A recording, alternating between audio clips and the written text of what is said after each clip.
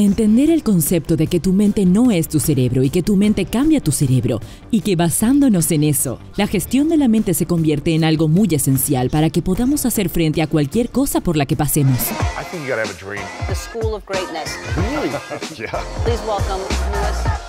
¿Qué importancia tienen los alimentos para desintoxicar el cerebro en general? ¿Qué importancia tienen para el cerebro los alimentos que ingerimos?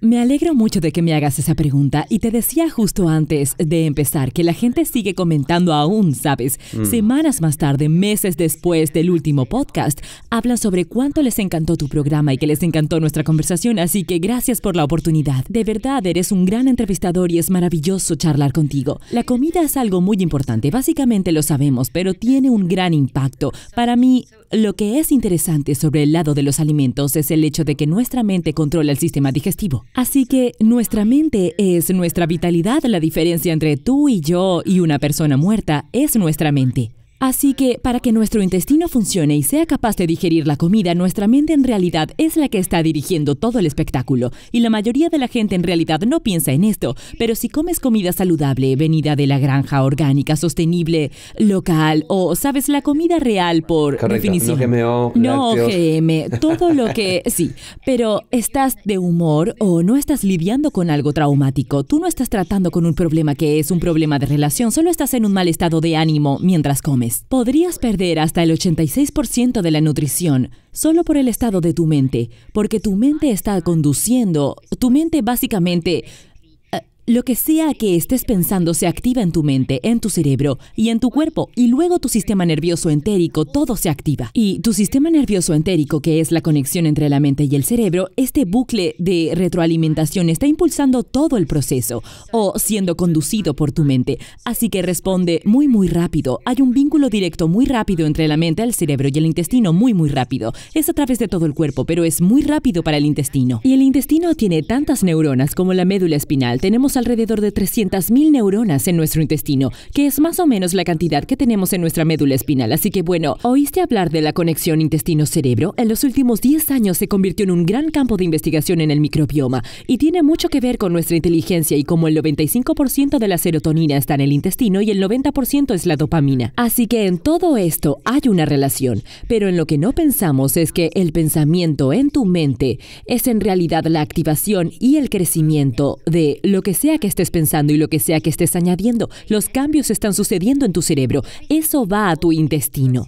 Y todo lo involucrado en el proceso, la digestión, incluyendo el páncreas, la vesícula y las diferentes partes del intestino, el estómago, todo está siendo impulsado por estas ondas de energía de la mente. Así que si nuestro pensamiento es tóxico, puedes, por ejemplo, tomemos una de las órbitas del páncreas. El páncreas secreta 20 neuropéptidos diferentes que son necesarios para la asimilación de los alimentos. Y si estás bajo de ánimo o preocupado, ansioso o no haces frente a algo o tienes una pelea con alguien, esos 20 neuropéptidos no se secretan correctamente o tal vez solo unos pocos de ellos y vas a afectar todo lo demás. Entonces empiezas una persecución intestinal. La gente se hincha, los problemas intestinales, dolor de estómago o intestino permeable y esto es por no tratar con nuestras cosas. Desgasta el revestimiento del intestino. Solo crea inflamación. Las bacterias intestinales se ven afectadas, tus bacterias buenas se esconden y ocurren un millón de cosas diferentes, así que eso es muy importante. Me gusta hablar, Luis, de la mentalidad que hay detrás de la comida y no solo de la comida. Bueno, nos centramos tanto en la comida y en la dieta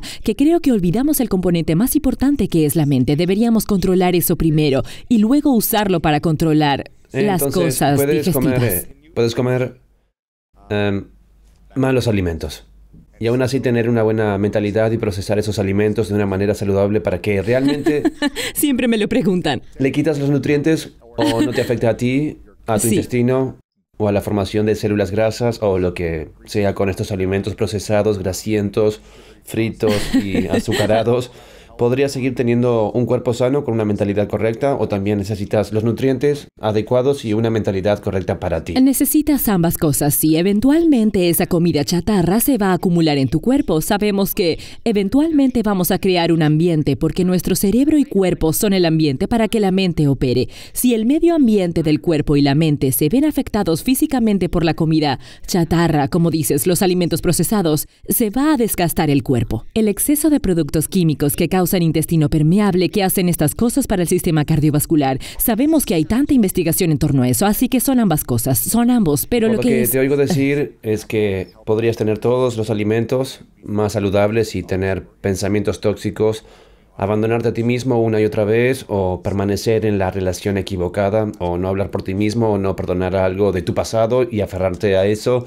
¿No va a ser mucho por ti para tener esos alimentos saludables? ¿O podría crear información todavía o tener intestino permeable debido a la mentalidad? Eso es lo que Exactamente, eso es exactamente Claro. lo que digo. Es un aspecto que la gente no reconoce y del que no se habla, no se estudia lo suficiente. Siempre hablamos de cuatro pilares o tres pilares. La gente habla de dieta, ejercicio, manejo del estrés como si fueran tres componentes separados. Mientras tanto, la fuerza motriz es la mente, porque si lo hicieras, ninguna de estas otras cosas importaría, así que tu mente es tu vitalidad e impulsa todo lo demás. Así que tenemos que centrarnos en la mentalidad. ¿Cuántas veces oímos hablar de personas que tienen alrededor de 50 años y han estado haciendo ejercicio, han estado comiendo bien y siempre están sonriendo y parecen estar bien y caen muertos porque se ¿Tienen un ataque al suicidaron? corazón o algo así? Sí, tienen un ataque al corazón o algo y piensas, ¿cómo? Pero eran tan saludables. Tu mente anula ese beneficio.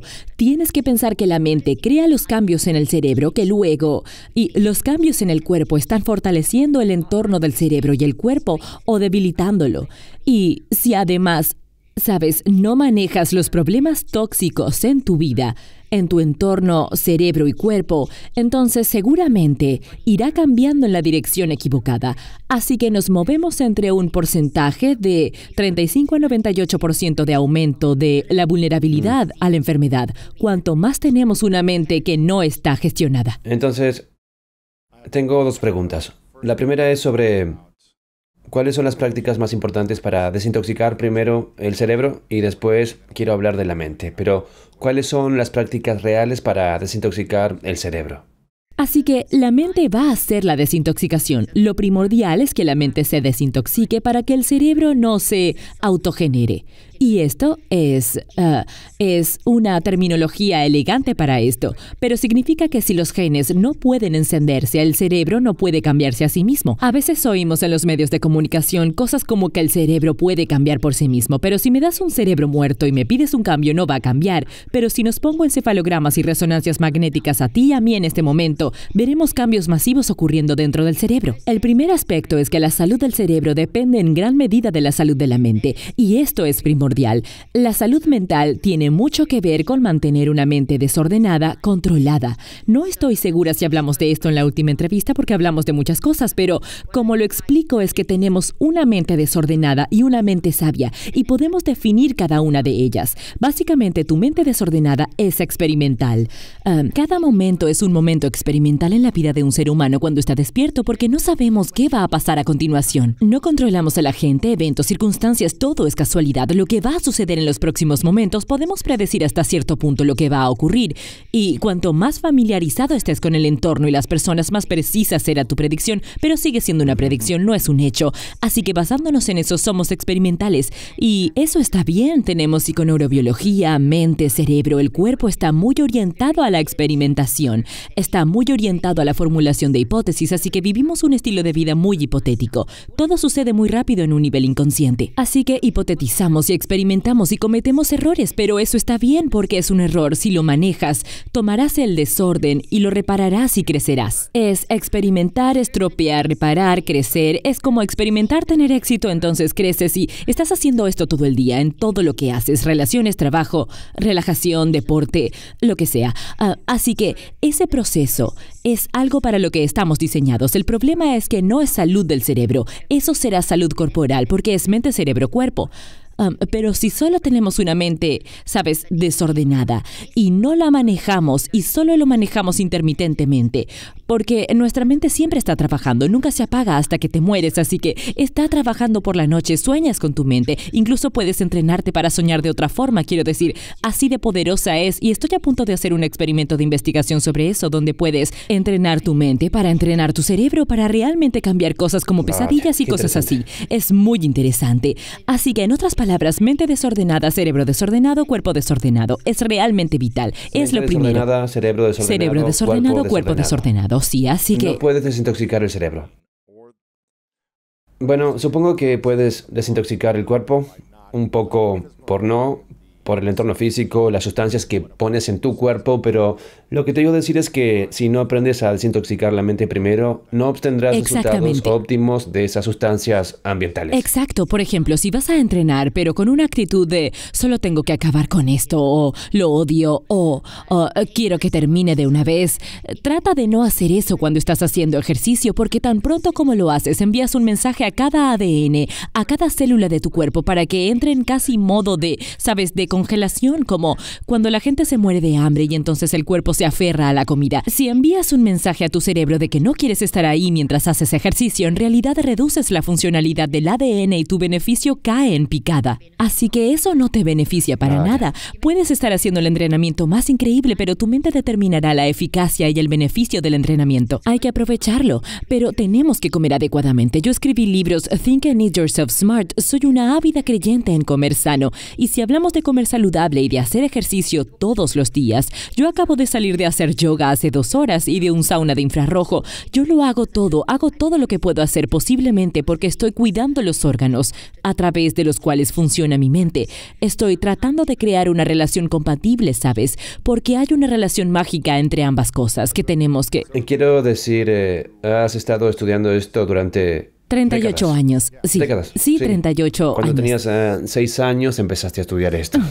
Em, ¿Hubo algún momento durante tu intensa investigación en el que sabías esto, pero estabas practicando algo diferente? Tal vez comías bien y hacías ejercicio, pero decías, Dios, no quiero estar aquí, o me estoy estresando por esto, o por mi trabajo, o por lo que sea, y veías los beneficios negativos de eso. ¿Y hubo algún momento en que lo cambiaste? Supongo que sí, que nunca volviste atrás y que empezaste a ver otros beneficios. Definitivamente tuve altibajos. Siempre fui muy impulsiva. Siempre me ha gustado mucho hacer ejercicio y dedicarme a todo. Todo lo que hago es al 100%, ¿sabes?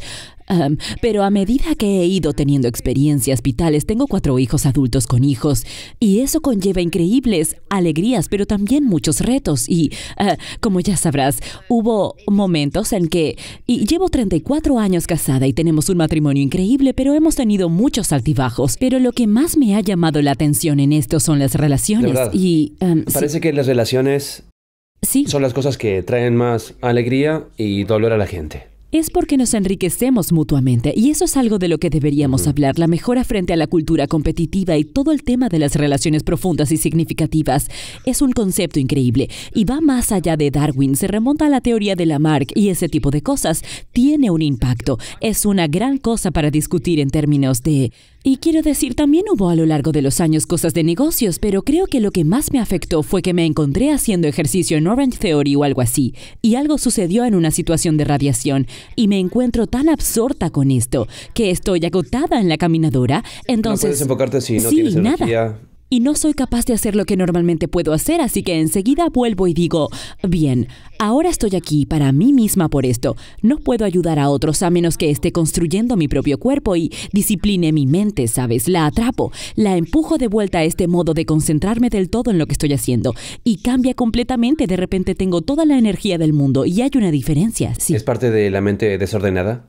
Es gestionar la mente desordenada. Nunca nos libramos de la mente desordenada. Tenemos que ser amigos de ella. Es un concepto ¿Qué- muy lindo. Es ¿Qué es la algo mente que... desordenada? ¿Qué se siente? La mente desordenada es la mente experimental, como dije. Básicamente se siente como que no sé lo que hago o en algún lugar no estoy seguro de lo que hago. No sé si está bien, si esto, si también son cosas que alguien te dice algo y reaccionas y te das cuenta de que, up, dije algo que no es, o escuché mal, o hice una suposición, o em, estoy siendo, ves un patrón en tu vida en el que sigues reaccionando a ciertas cosas, o ves que te levantas por la mañana y te quejas siempre. Eso es una mente desordenada, es donde nos encontramos sintiendo malestar, sintiendo que, que algo no está bien, sintiéndonos irritables, exaltados. Todas esas emociones son de una mente desordenada. Y está bien, ¿sabes? Eso es fascinante porque está bien si se controlan. Así que lo que tenemos que hacer es asumirlos, darnos permiso de experimentarlos, porque no puedes crecer a menos que entiendas cómo se sienten. Así que irrítate. No digo que elijas irritarte, pero si te irritas, asúmelo. Y luego di, bueno, ¿por qué? ¿Por qué lo hice? ¿Qué puedo aprender de esto? ¿Cómo puedo crecer a partir de esto? Eso es una mente controlada. Para eso está diseñada nuestra psiconeurobiología. No estamos diseñados para ser criaturas perfectas de positividad, ¿sabes? Es normal, está bien frustrarse y está bien entenderlo y decir, bueno, yo lo, lo siento, me frustré por esto. Voy a tratar de hacerlo menos la próxima vez. O lo que sea, ¿sabes? Es muy normal. ¿Cuál es la diferencia entre positividad tóxica y mente sabia? Bien, entonces la mente sabia es la capacidad de reconocer que no lo sabes todo. Reconozco que hería a otras personas, reconozco que está bien llorar, está bien estar triste, está bien estar deprimido, reconozco que la ansiedad, la depresión son señales y cuando me duele el cuerpo me está diciendo algo. Es la razón para dar un paso atrás y ver otra perspectiva. Es tener discusiones profundas como esta donde exploras la filosofía y analizas. Esto es una mente sabia. Si me pides eh, consejos sobre algo o yo te pido a ti consejos y me lo das, es una mente sabia. Cuando hablas con tus hijos o, o tu pareja o amigos y les dices, oye, pasó esto, ¿qué te parece? Y te aconsejan mente sabia. La mente sabia está en todos nosotros, pero no la sintonizamos lo suficiente y está en el núcleo del ser y vemos esto en la neurobiología porque no tenemos proteínas, ¿verdad? Se, se toma de los órganos, de las células a las partes de la célula hasta las partículas subatómicas. No tenemos nada en nuestro físico, cuerpo físico y cerebro que sea para la toxicidad. Lo que tenemos es para gestionarla es muy diferente. En otras palabras, tenemos gracia para cometer errores. Y la positividad tóxica es como, poner una curita, es como una bandita en una herida. Uno de mis amigos dice curita en herida de bala. Ah, quiero decir, no puedes poner una curita en una herida de bala y esto es lo que hace la positividad tóxica. Cosas como frases de gratitud y afirmaciones, si se usan incorrectamente, pero son en gran medida herramientas del movimiento de positividad tóxica. Si no estás lidiando con tu problema, no puedes solo poner una afirmación positiva o una práctica de gratitud. Eso no va a hacer nada. solo te engañas a ti. ¿Deberíamos utilizar mantras y afirmaciones? ¿Hay alguna forma de utilizarlos de manera positiva, eficaz, diaria? Oh, definitivamente, definitivamente. ¿Cómo podemos utilizar mantras, herramientas y afirmaciones, actitud positiva, sin que sea em, productividad tóxica? Bueno, la forma en que lo explico es que lo haces en el paso 5 del neurociclo. El sistema que desarrollé durante más de 38 años es un sistema de entrega de como...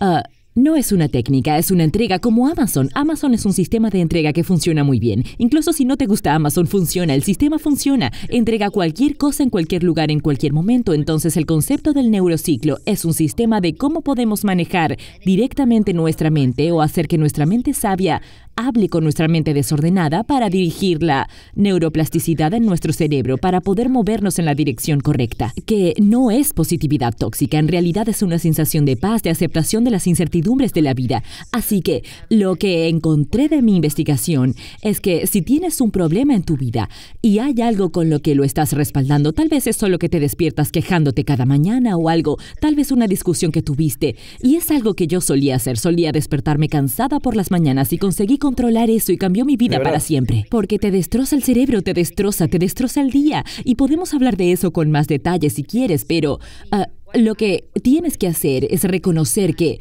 si estás en... Um, así que si estás en... Digamos que hay algo para quejarse, solo diciendo, bien, me voy a levantar por la mañana y voy a decir 10 frases de gratitud en vez de 10 frases de queja. Eso funcionará durante un tiempo, pero no será sostenible porque todo lo que estás haciendo es poner una tirita en la herida o estás cortando la cabeza de mala hierba y volverá a crecer y lo sabemos. Si cortas la cabeza de mala hierba, volverá a crecer. No es llegar a la raíz. Exacto, tienes que encontrar los ¿Por qué agujeros. no te limitas a sentir aprecio en todo momento y no intentas actuar como si lo sintieras? Eso es, no es un ser, es un hacer. Y por eso tienes que averiguar por qué. Lo que sea que hagas, hay una razón. Porque en tu núcleo, tu identidad es este cableado lleno de naturaleza en nuestra neurobiología y en nuestra mente. Lo vemos en las ondas de amor de la física de la mente y los campos gravitacionales y esas cosas. Lo vemos en, sabes, la física cuántica nos demostró que estar inmerso en campos gravitacionales cambia cuando hay negatividad. Así que cuando la gente está enojada y peleando se siente distinto. Cuando hay tensión puedes sentirlo, puedes entrar en una habitación y sentirlo. Así que nuestro ambiente es muy, son cosas muy profundas y también muy reales. Y no es algo que podamos ignorar porque es muy, todos experimentamos esto. Así que em,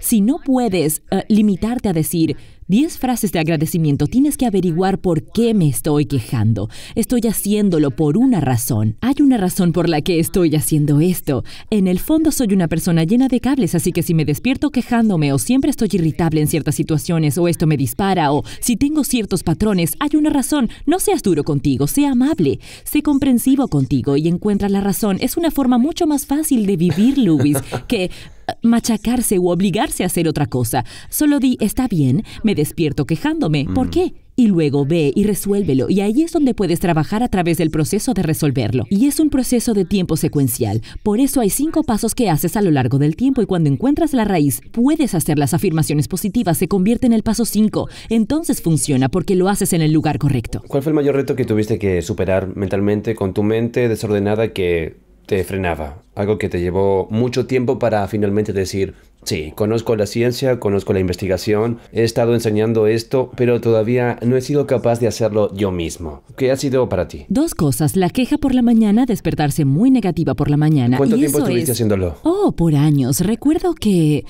eh, durante los primeros años de mi matrimonio, recuerdo que en el instituto también me levantaba por la mañana nerviosa y ansiosa, así que por años. Y recuerdo que un día mi marido me dijo, llevábamos casados unos 10 años, algo así, y se dio la vuelta y me dijo, eres muy negativa por las mañanas, y se levanta brillante y feliz, y yo le decía, eres demasiado feliz, y él me decía, pero tú siempre eres negativa. Hasta que me lo señaló no me había dado cuenta de que lo hacía, pero afectaba la primera mitad de mi día y me mantenía en un ambiente negativo. Y hago toda la investigación sobre el cerebro y tan pronto como hice la investigación caí en cuenta fue inmediato porque mi trabajo cambió rápidamente porque, sabes, fortalece el cerebro y es muy importante para la salud mental. La construcción del cerebro es algo que tenemos que explorar porque es fenomenal. En fin, el cerebro porque estas quejas crean un reparto ah, neuroquímico. Ahora, cuando te despiertas por la mañana, al pasar del sueño a la vigilia, hay un cambio masivo en la neuroquímica y la actividad de las ondas cerebrales. Y literalmente las cosas que estaban fluyendo de esta forma ahora fluyen así. Delta es muy alta y de repente se cae, va a cambiar y beta viene a bordo. Así que estos son todo el patrón de cambio. Y si no manejas ese momento, puedes prepararte para el fracaso durante el día o tener un día miserable y todo se vuelve más difícil. Así que es solo una cuestión de gestión mental. Y me entrené a mí misma y llevo varios ciclos de 63 días utilizando Neurocycle para entrenarlo. Y no fue tan difícil como pensé que sería. Creo que fueron eh, dos ciclos, si no me equivoco. Dos ciclos son 18 semanas.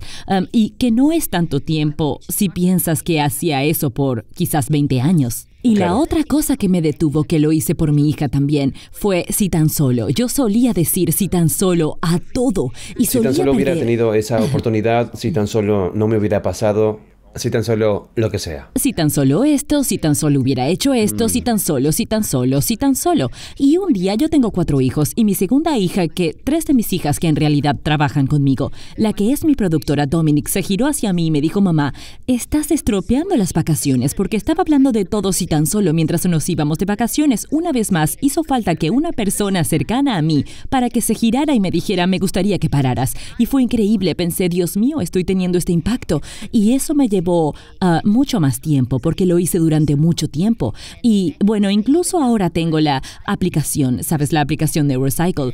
Y está en iTunes y Google. Y es, uh, es literalmente yo dándote terapia, llevándote a través del neurociclo. Yo lo uso todos los días, en principio para saber el sistema de mi corazón, pero lo uso para llegar a los recordatorios porque se puede escribir y todos los días, siete veces al día, todavía aparece en mi teléfono. Recuerda tú si tan solo. Y ya no lo hago, pero sigo recordándomelo. Ahora puedo echar un vistazo y recordar y puedo verlo, así que me volví un 81% más eficaz en la gestión de algo que era tan tóxico para mi salud mental, que revolucionó completamente mi vida. No puedo decirte cómo cambió mi vida. Cuando venimos de un lugar de sí solo, ¿qué está diciendo sobre nosotros y nuestra vida? Es nada te va a satisfacer jamás. Vaya. Nunca nada te dará paz. Siempre estarás buscando la hierba, siempre es más verde del otro lado. Eso Es- agotador. Es, es agotador. Constantemente no puedes ver lo que tienes porque siempre piensas en lo que acabas de perder y en ¿De dónde cómo habría eso? sido mejor. Creo, creo que una vez que hice el trabajo y vino de un, un deseo de, de ser perfecta, un perfeccionismo que viene de una identidad muy pobre para probarme a mí misma, ¿sabes? Yo era la menor de cuatro hijos. Tuve un bonito... A mí también. Ah, sí, ok.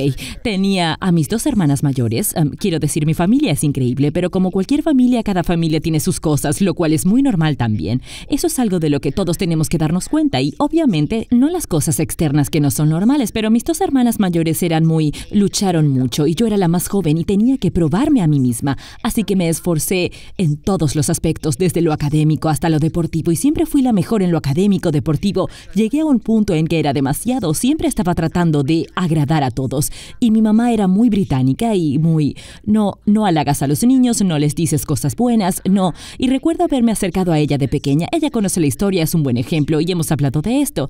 Ah, pero yo tenía unos seis o siete años, hice un dibujo y me acerqué a ella y le dije, mamá, no te encanta, no te encanta mi dibujo. Y ella me dijo, "Ah, eso es superficial, no me preguntes, no busques cumplidos. Y me destrozó. Y Con desde seis o ese siete día. años es eh, difícil. sí, me destrozó y no pretendía destrozarme, pero lo hizo. Claro. Y desde ese día nunca pregunté, solo probé.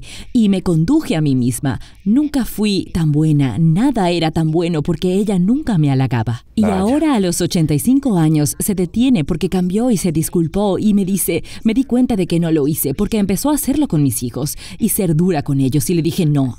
Y ella me dijo, halagas demasiado a tus hijos y le dije, nunca me felicitaste lo suficiente. Le dije, cuando mis hijos hagan algo genial, voy a ser su animadora. Y ella vio eso y tuvimos toda una discusión sobre eso, pero sí de ahí vino. Y no tan pronto, quiero decir, ella hace un punto de todo, es muy dulce ahora, está tratando de compensarlo, lo que es genial porque puedes perdonar y olvidar, no puedes cambiar lo que te pasó, pero puedes cambiar lo que hay en ti, pero de ahí vino, sí. Y una vez que hice las paces, pude, una vez que mi madre y yo tuvimos esta discusión, ah, fue definitivamente una parte masiva de mi curación. Vaya. ¿Qué, ¿Qué impacto tiene el perfeccionismo? ¿O qué impacto tiene el perfeccionismo en el cerebro a la hora de frenar a la gente? ¿Cómo puede alguien desprenderse de esa idea de ser perfecto cuando siente que tal vez le pasó algo parecido contigo o siente que necesita ser perfecto para ser amado o aceptado o para obtener reconocimiento o atención o afecto o lo que sea? ¿Qué le hace el perfeccionismo al cerebro y cómo podemos liberarnos de él? Es, es una pregunta excelente. Está muy distorsionada porque va en contra de tu naturaleza. Porque cuando... Y todo tiene que ver con la identidad. Y cuando hablamos de identidad, tenemos que hablar de ella como un verbo y no como un sustantivo. Es algo orgánico que crece. Tú, Luis, estás creciendo siempre y cambiando a partir de las experiencias de la vida. Cuando estás creciendo en ti mismo, creces en todos los sentidos. Y a medida que pasamos por el desorden, reparación y crecimiento, se está mejorando y creciendo más y más todo el tiempo. Y el perfeccionismo es una especie de no aceptación de eso. Es como si no hubiera tenido la oportunidad de ver que mi identidad es suficiente y entonces es como si siempre tuvieras que hacer algo y sabes, bueno, cada, cada uno tiene su propia narrativa, pero en algún momento de nuestra vida hemos tenido algo que nos ha golpeado y parece ser que para mí fue donde ocurrió ese golpe. Y crecer en ese ambiente en el que nunca hubo cumplidos. Y un niño necesita ese tipo de cosas, así que afectó mi identidad. Siempre sentí que tenía que probarme a mí misma en cada instancia y se convirtió en algo muy grande. Vivía para que me aprobaran hasta que, sabes, pude aceptar quién era. Así que el Y probablemente nunca te es- aceptaste a ti misma. no, no totalmente. Y creo que muchos de nosotros luchamos con eso. Quiero decir, yo siempre recomiendo que la gente haga controles de identidad regulares y por lo menos una vez al año hacer un control de identidad completo y sabes, descubres que no has sido, porque es tan fácil ser moldeado por la experiencia. Y es la naturaleza, crianza y factor. Está la parte natural de la identidad, es decir, tú tienes tu composición genética y yo tengo la mía. Tienes tu propia forma de vibrar tus proteínas, no, no vibran igual que las mías. Aunque tengamos las mismas estructuras cerebrales, tenemos diferentes vibraciones de proteínas. Quiero decir, sabes, sostuve este árbol antes. Los pensamientos que construyes, los árboles negros, las raíces son la fuente, pero las ramas son tu interpretación. Cada persona que escucha esto ahora está escuchando la misma fuente o las mismas raíces que crecen en su cerebro, pero cada persona está activando su propia ah, interpretación, sus propios pensamientos, sentimientos y elecciones en torno al contenido del que hablamos, y eso es identidad. Son proteínas y las vibraciones son diferentes, así que nuestro cableado es único en cuanto a la naturaleza. En cuanto a la educación, nuestro entorno nos afecta, nos guste o no. La cultura, religión, el lugar donde vivimos, las filosofías del momento, todo esto afecta. Pero por encima de todo está el factor yo, que es tu identidad creciente. La percepción que tenemos de nosotros mismos. Sí, exacto. ¿Cómo nos vemos en el espejo? cómo nos vemos en el espejo y cómo percibimos el mundo. Eso es muy em, maleable, es muy fuerte, pero también muy vulnerable. Y está muy influenciada por la naturaleza y la crianza, y por eso es tan importante la gente y su identidad. Así que las personas que tienen confianza, las personas que parecen conseguir, no importa lo que pase, parecen recuperarse, aunque tengan problemas de identidad, pero han llegado a un punto en su vida en el que pueden recuperarse más rápido que otra persona que tiene más problemas de identidad, que es aplastada. Así que para mí, cuando todavía ejercía, sabes, Ah, dedicaba gran parte de mi trabajo con mis pacientes a la identidad, porque la mayoría de las veces era lo primero en lo que trabajaba. Luego trabajaba en la construcción del cerebro y luego en el trabajo emocional, así que era primero construir a la persona y así es como conseguimos la resiliencia en el cerebro. Así que la construcción del cerebro es una de las formas más poderosas de usar la mente para conseguir salud cerebral. Nunca llegamos a ese punto y necesitamos hacer eso volvemos también. a eso, es sí. mejor que tomes nota Tengo de las todo notas esto. aquí, las tengo aquí. Tengo curiosidad sobre el control de identidad. ¿Cómo es un Sí. control de identidad y cómo construimos nuestra identidad para convertirnos en seres humanos más seguros, resistentes, amorosos y enérgicos? Absolutamente, así que cuando la identidad se rompe, veremos una diferencia en las vibraciones en el cerebro, veremos una diferencia en el flujo de energía en el cerebro. ¿Cuáles son las formas más comunes que se rompen? Siento interrumpir. Oh, no, no, no hay problema. Normalmente... Una sí, ruptura, Sí, eh, ambiente, pérdida experiencia. de sí, sí. algo pasa, una muerte en la familia. Eso te hará alguien, trizas, pero es más cuando te dicen que estás roto de alguna forma, aunque no sea directa. Si alguien te dice... ah, Imagina que pasaste por una circunstancia adversa y te sientes deprimido y alguien te dice que tienes una enfermedad cerebral, eso te destrozará porque ahora sientes que tienes el cerebro roto, soy una persona inútil. O si alguien siente que no se le valora, entonces afirma en el núcleo de su humanidad lo que son y no se valora, sienten que no son tan valiosos. Eh, lo vemos mucho en cuestiones de género, personas a las que no se les permite identificarse con lo que creen que es su género. Gran, gran ataque a la identidad. Por eso hay tal aumento de suicidios en estos ambientes. Sabes, en general, he trabajado con muchos sobrevivientes de suicidio y con muchas familias de víctimas de suicidio. Y, em, bueno, experimentaron el suicidio en la familia y el centro es la identidad. Porque si no sientes que te valoran, si sientes que lo que puedo aportar no es suficiente, pase lo que pase, ¿para qué voy a seguir vivo? Y eso para mí es muy importante. Hice un podcast hace poco sobre la identidad y la importancia y se ve diferente en el cerebro. Cuando tu identidad destroza tu energía, podemos captar eso en las pruebas QEG. La tecnología QEG no lee detalles. Es muy cruda, pero te da una idea del nivel de ansiedad que crea. Así que cuando no eres tú mismo o sientes que no te valoran, veremos um, asimetría, por ejemplo, en el cerebro. Veremos baja energía en la parte frontal del cerebro, muy muy baja energía en la parte frontal. Lo ves con personas que han sido etiquetadas, su flujo sanguíneo de energía es asimétrico y es muy bajo en particular en esta parte del cerebro. Y luego tenemos 200 especializaciones a través de nuestro cerebro que son únicas para cada uno de nosotros, así que está diseñado porque tu cerebro tiene un tamaño limitado. Tu cráneo tiene un tamaño limitado, no puedes seguir haciendo crecer a tu cerebro y no puedes hacerlo y yo tampoco. Y eso está dentro de las 200 especializaciones de nuestro cerebro, porque, Luis, hay cosas que tú puedes hacer que yo no puedo hacer, así que yo te necesito y tú me necesitas, porque eso nos mejora a ambos, ¿sabes? Entonces, Interesante. cuando la gente piensa, bien, no hay nada que yo pueda aportar, su identidad se rompe. Y vemos que en esos cambios, y cuando tienes ese cambio en la actividad cerebral y la inflamación y el flujo sanguíneo, vamos a ver un aumento en la inflamación del sistema inmunológico. Este va a responder y reaccionar porque ahora su supervivencia se ve amenazada, por lo que va a obtener la inflamación. Esto tiene un efecto descendente en tu sistema endocrino. Tus telómeros y cromosomas comienzan a acortarse, lo que envejece tu cuerpo, y quiero decir, puedo seguir y seguir. Sigue, sigue. Sí. Los efectos neurofisiológicos son enormes. Así que un chequeo de identidad es importante porque es la única manera en que te vas a recuperar de lo que va a pasar porque la vida es traumática, no importa lo que... Sabes, nos encantaría que el mundo fuera perfecto. La realidad es que... eh, no importa qué, has tenido traumas y los tendrás. Claro. Es inevitable. Am, así ¿Cómo es que para ti el control de identidad? Dices que lo haces una vez al año. o- Sí, lo hago una vez al año o cada vez que siento que estoy fuera de sincronía. Y un reconocimiento muy rápido del chequeo de identidad es si empiezas a sentir envidia y celos de otros y si empiezas a sentir que no eres tan bueno. El síndrome del impostor, sabes, los típicos, Sí. esos son muy claves. Es como, debo parar y hacer el chequeo, entonces lo hago con un ciclo neuronal, voy y tomo, sabes, conciencia de todas las señales que empiezo a ver, como estoy bien, hay mucho más síndrome del impostor de lo normal porque todos tenemos un nivel de él y está bien, es cuando se convierte en un patrón invasivo. Entonces buscas las señales del patrón invasivo que están afectando cómo me siento. Así que es reconocer el malestar general, entonces empezarás a trabajar a partir de las señales y empezarás a reflexionar.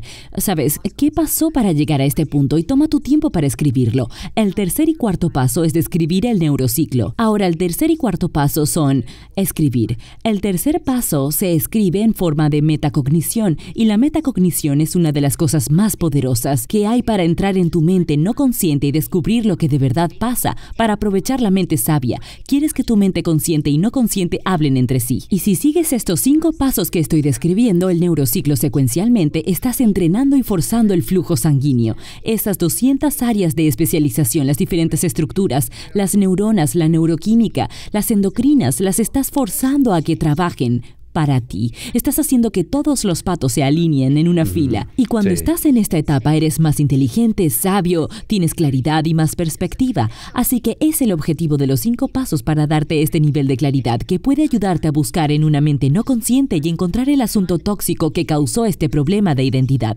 porque va a afectar todo. Tu identidad empieza a desquebrajarse, afecta tu trabajo, tus relaciones, tu visión humor, de la vida, energía, estado todo. de ánimo, energía, ejercicio, dieta, todo. Así que el primer paso es el reflejo de tu identidad, es lo que parece para muchas de estas cosas. Muy importante también. Es interesante que Sí. digas esto porque cuando era más joven, lo he hecho en el programa varias veces, pero cuando era más joven, probablemente como 7, 8, 9 en la escuela primaria me, me metía en problemas muchas veces. Al menos estas son las historias que recuerdo. Recuerdo meterme en problemas y ser enviado a Sí, la oficina del director. Tal vez no tanto, quizás, no sé, media Sí. docena de veces o algo así en un par de años, por la razón que fuera, portándome Sí. mal o diciendo algo.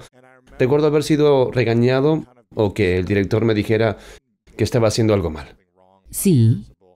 Y recuerdo haber dicho vívidamente, ojalá estuviera muerto. Oh. Recuerdo haber dicho esto Sí. de niño y era una y otra vez. Cuando me sentía en problemas decía, ojalá estuviera muerto. Oyéndote decir esto ahora, Oh. siento que nunca me sentí valorado. Estoy, estoy seguro de que la gente me valoraba, pero creo que yo no sabía cómo recibirlo. O no lo sentía.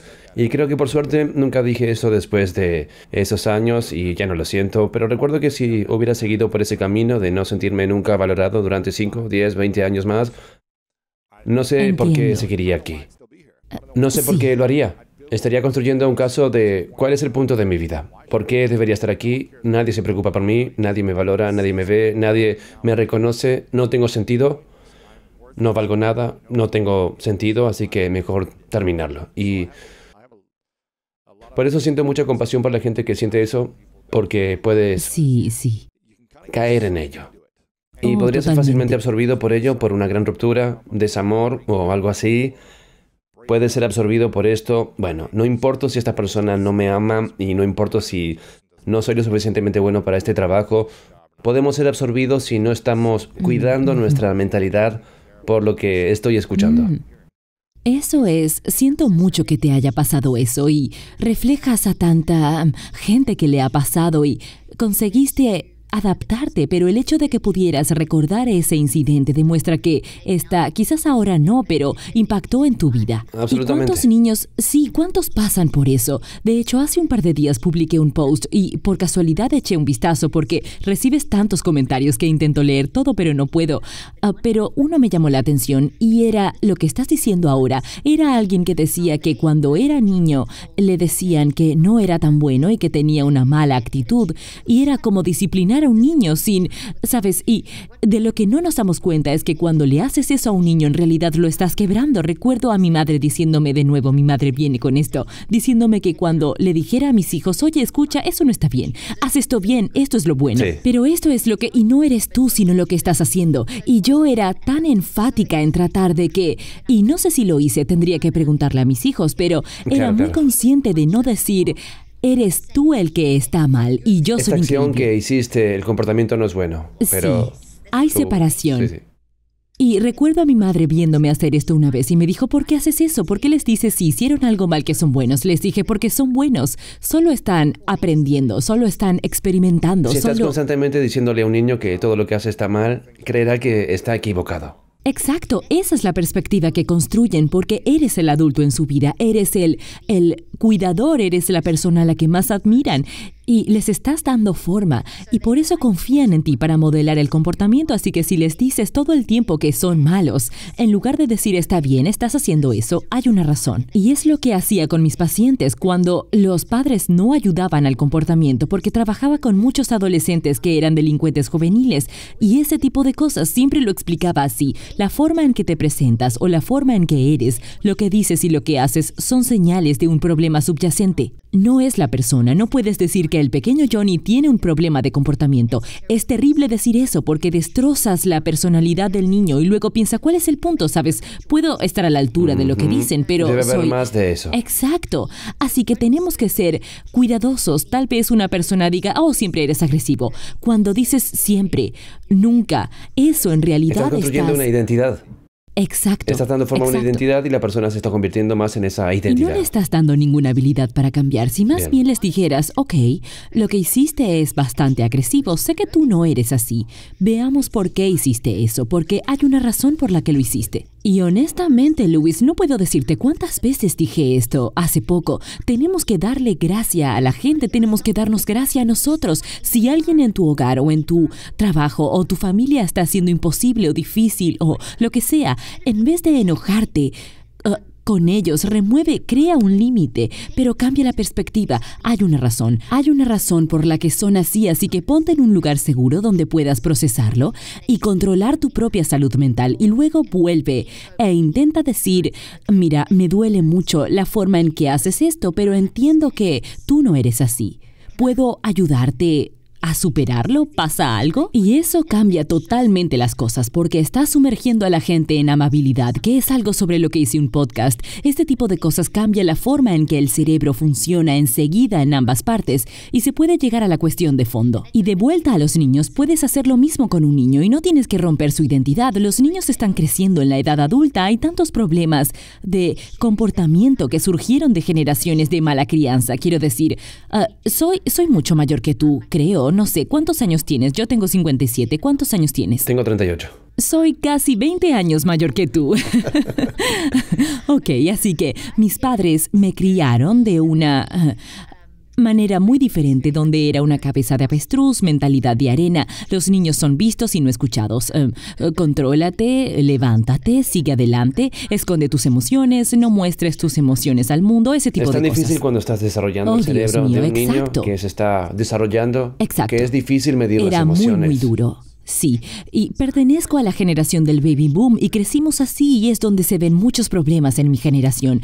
Muchos de nosotros lo heredamos de nuestros propios y espero no haberlo hecho porque lo reconozco, yo estoy haciendo el trabajo, hago lo que hago para poder cambiarlo, pero eso creó toda una raza de personas y si no cambiamos eso entonces impactamos a la siguiente generación. Pero sí tienes que ser capaz de expresarte y una de las cosas que decía a los padres cuando trabajaba en terapia familiar es que hay que ser auténtico, tienes que explicar Oye, hoy estoy triste.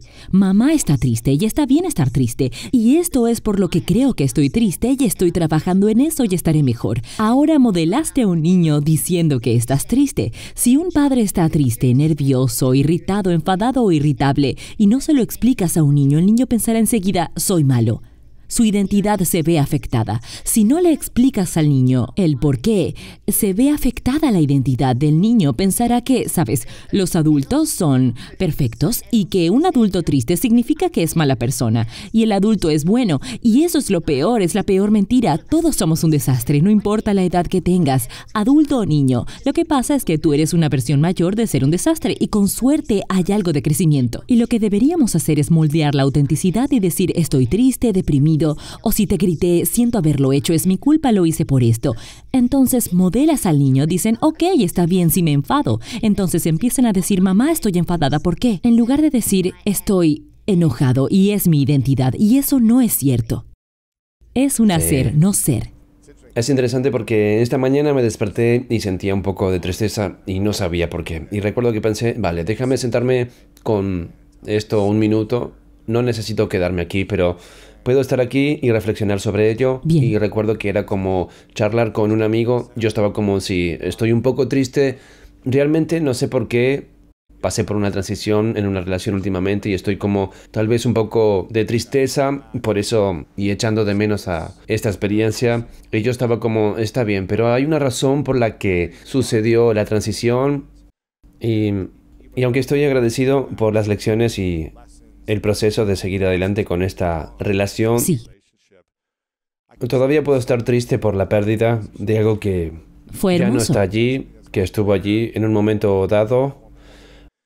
Así que me sentí durante 20-30 minutos y me dije, vale, pero no necesito quedarme aquí porque quedarme en la tristeza no va a apoyar mi alegría, mi autenticidad, mi visión para ayudar a la gente. Así que quiero asegurarme de no rechazar esta gama de emociones. Muy Pero bien. tampoco quiero quedarme en lo negativo, no en una emoción negativa, sino en el movimiento que tal vez me impida ayudar a la gente o tener una actitud positiva. Así que creo que es... eh, eh, Eso está muy bien, tú solo... Perdona, no quería interrumpirte. adelante, sí. Acabas de hacer un ciclo neurológico, básicamente Sí, reuniste... cambiando el idioma. Sí. Sí. lo hiciste, tomaste conciencia de tu tristeza, la aceptaste, estuviste bien con ella, te diste permiso y es muy bueno porque está bien estar triste, es muy normal. Luego reflexionaste, tomaste conciencia y pensaste sobre el por qué. Tal vez no hiciste los pasos de escritura, pero lo visualizaste, así que el tercer y cuarto... Estaba expresando... Hablaste, así sí. que... Ahí vamos, ahí está la escritura. Si vuelve a surgir, tal vez podrías intentar hacer una metacognición y no conseguiste terminar eso, pero los diferentes tipos de escritura pueden llevarte más profundo si lo necesitas, pero lo hiciste como una discusión visual y luego te metiste en eso, lo reconceptualizaste, dijiste bien, hay una razón por la que estoy triste, la ruptura, sigues adelante, entonces está bien estar triste porque estás de duelo y eso es parte de eso y ahora sigues adelante. Tu primer paso fue aceptarlo, luego sigues adelante y tienes toda la razón, tomaste la tristeza, la abrazaste, procesaste y reconceptualizaste. Y sabes, si la hubieras reprimido, habría crecido porque todo lo que reprimes se hará más grande. Entonces va a impregnar a otras partes de tu vida y hay confusión porque piensas, ¿por qué estoy triste cuando todo está pasando? ¿Y por qué estoy sintiendo esto? Y es como un pequeño virus empieza a extenderse. Y lo captaste y te lo permitiste, pero también lo limitaste. Y es tan importante con cualquier emoción que ninguna emoción es mala.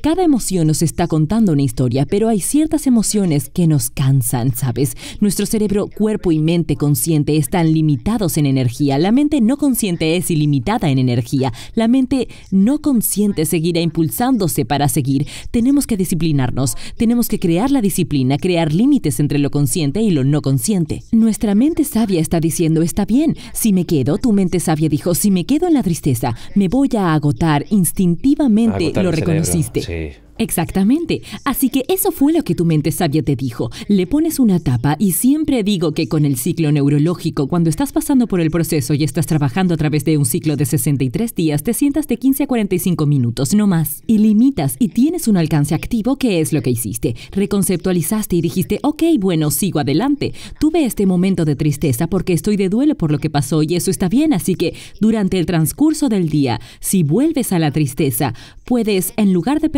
permitirte ir y revisar toda la transición, eh, puedes ir a esa declaración y puedes construir sobre esa declaración de que está bien estar triste, estoy de duelo por una pérdida y eso es parte de eso y luego sigues. Estás entrenando tu mente para disciplinarse y no quedarse en algo que te agotará, sino ver cómo hiciste que funcionara para ti porque no puedes cambiar lo que te pasó, pero cambias lo que sucede en ti. Eso fue Sí, lo que hiciste. sí. Buen trabajo.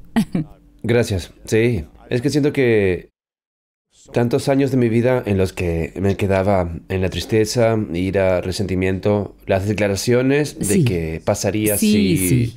En los que solo estacionaba estas emociones durante días, semanas, meses, años. Y solo me dejaba con falta de sueño, con estrés, Frustración. frustración, agobio. No me sentía nunca lo suficientemente bueno. Pregúntame por qué a mí, todas estas cosas. Nunca sentí paz cuando quedé en la emoción y permití que me consumiera en lugar de ser algo momentáneo o de una hora en lugar Exactamente. de días, semanas, meses, cosas. Tuviste que recablear tu cerebro. Porque entramos en patrones de permitirnos hacer ese pensamiento extenso. Y yo me identifico con lo que dices, yo también lo hice. Y como aprendí más y más e hice investigaciones en esta área, sí tengo una ventaja porque lo estoy viendo directamente. Pero es tan liberador, consigues tanta paz mental cuando reconoces, sabes, estoy en este estado. Y sí puedes tener una preocupación en tu vida. Quiero decir, no solo no vas a pensar en una transición o en una ruptura, va a haber un montón de tiempo que pasas en eso porque es un proceso diferente. Pero es cómo lo haces. Cada pequeño momento es un pensamiento extenso en una rueda de hámster o es una reparación desordenada haciendo una reparación desordenada. Estás avanzando y, sabes, y eso es lo que es tan bueno, porque si te quedas atascado en el sí tan solo y las emociones negativas, creamos tanto caos neuroquímico. Nuestro cerebro y nuestro cuerpo aumentan la inflamación, estamos envejeciendo nuestro cuerpo, solo estamos haciendo todo lo que no deberíamos hacer. Y no tenemos que hacer, eso se queda en la mente desordenada. La mente sabia atrapa eso y lo disciplina y lo entrena. Pero no va a pasar de la noche a la mañana. Ahí es donde la gente dice, sabes, "Ah, ya lo hice una vez, ¿por qué lo sigo haciendo? No te va a llevar probablemente nueve semanas. Si tuvieras que mirar el tiempo que pasaste para romper este ciclo, lo que significa que recableaste tu cerebro, son, bueno, son semanas. Y si Es descansas probable en que el tarde medio... meses o años eh, Sí, los tiempos que bueno. tuve que pasar por eso, sí. Sí, absolutamente, múltiples ciclos. Y por eso... ¿Sabes qué es importante? Fue hace ocho años cuando todo empezó a cambiar de verdad para mí cuando cumplí 30 porque no sé si lo mencioné en nuestra última entrevista, pero he hablado mucho de ello en este programa donde empecé a abordar y sanar de verdad la causa a raíz de mucho de mi dolor, rabia, resentimiento por el trauma sexual que Sí. pasé de niño, por otras cosas que pasaron que nunca expresé que nunca saqué a la superficie, que siempre mantuve ocultas con vergüenza, inseguridad y frustración y rabia. Y cuando empecé a procesar las causas profundas de mucha de Sí. mi inseguridad y vergüenza, fue cuando todo empezó a cambiar. Así que si solo hubiera dicho, está bien, voy a procesar estas cosas en un nivel superficial durante una cierta cantidad de días, no creo que nunca hubiera encontrado esa capacidad de crear esa paz interior porque siempre estaba aferrado a algún tipo de trauma del que no estaba dispuesto a hablar. Tanto si se trataba de una T grande como de una T pequeña, no quería hablar de ello por vergüenza. Cuando empecé a compartirlo, fue liberador. Y no estoy diciendo que todo el mundo tenga que compartir esas cosas públicamente Sí. o lo que sea, Sí. pero simplemente el hecho de hablar. Con un amigo o un terapeuta o un entrenador me permitió empezar a recablear. Sí. De acuerdo, puedo procesar estos desamores o estas tragedias o estos momentos en la vida que me traen estrés, dolor y pena y tristeza. Ahora, no necesito aferrarme a ese dolor de toda mi vida y añadirlo. Puedo procesarlo y seguir adelante. Mm, Eso es hermoso, es increíble que hayas hecho eso y es interesante que lo hayas hecho alrededor de los 30 y tus 20 fueron claramente turbulentos en términos de tratar de suprimir. Toda mi vida fue turbulenta hasta los 30. Quiero decir, todavía mis 30 años han habido muchos altibajos, Es pero he sido capaz de procesar. Y he sido capaz de tener emocionalmente más herramientas para experimentar y procesar y no aferrarme. Y creo que todavía estoy aprendiendo porque, quiero decir, voy a estar aprendiendo durante mucho más Ah, tiempo. sí, pero será toda tu vida. Sí. Definitivamente no soy perfecto porque todavía cometo muchos errores y todavía me quedo en las cosas más tiempo del que debería y quiero asegurarme de que lo doy todo y todas estas cosas. Pero creo que he llegado a un punto en el que sé cuándo alejarme de los escenarios en lugar de ser perfeccionista, asegurarme de lo que hago, lo que sea necesario para que funcione. Si esta situación no me apoya a mí o a la otra persona, en algún momento tenemos que cambiar la situación. Es increíble, hiciste un trabajo tan increíble y literalmente puedo explicarte científicamente si te interesa lo que hiciste porque creo que por lo que pasaste, por la historia que pasaste, sobre todo por tener el trauma sexual, ¿cuántos años tenías? Cinco. Cinco años. Es, eh, piénsalo así. Cuando tienes cinco años, ves a tus cuidadores y a tu entorno como tus héroes, como la gente que te cuida. Así que la distorsión es tan, tan, absolutamente es una distorsión tan grande. Así que lo que pasa si uso mi árbol tóxico, para aquellos que escuchan, estoy sosteniendo un árbol tóxico que representa los pensamientos tóxicos en oposición al árbol verde sano. Las raíces de aquí, todo esto se está cayendo en pedazos. La, la parte de la raíz por aquí es la fuente del dolor, así que esa es la fuente del trauma. Estos son los eventos reales, todos los datos, emociones. Los recuerdos. Sí, Ah, los recuerdos. sí. Un pensamiento está hecho de recuerdos, recuerdos de raíz y recuerdos rama. Así que los recuerdos son todas las cosas que sucedieron y todas las emociones que las acompañaron, los datos completos.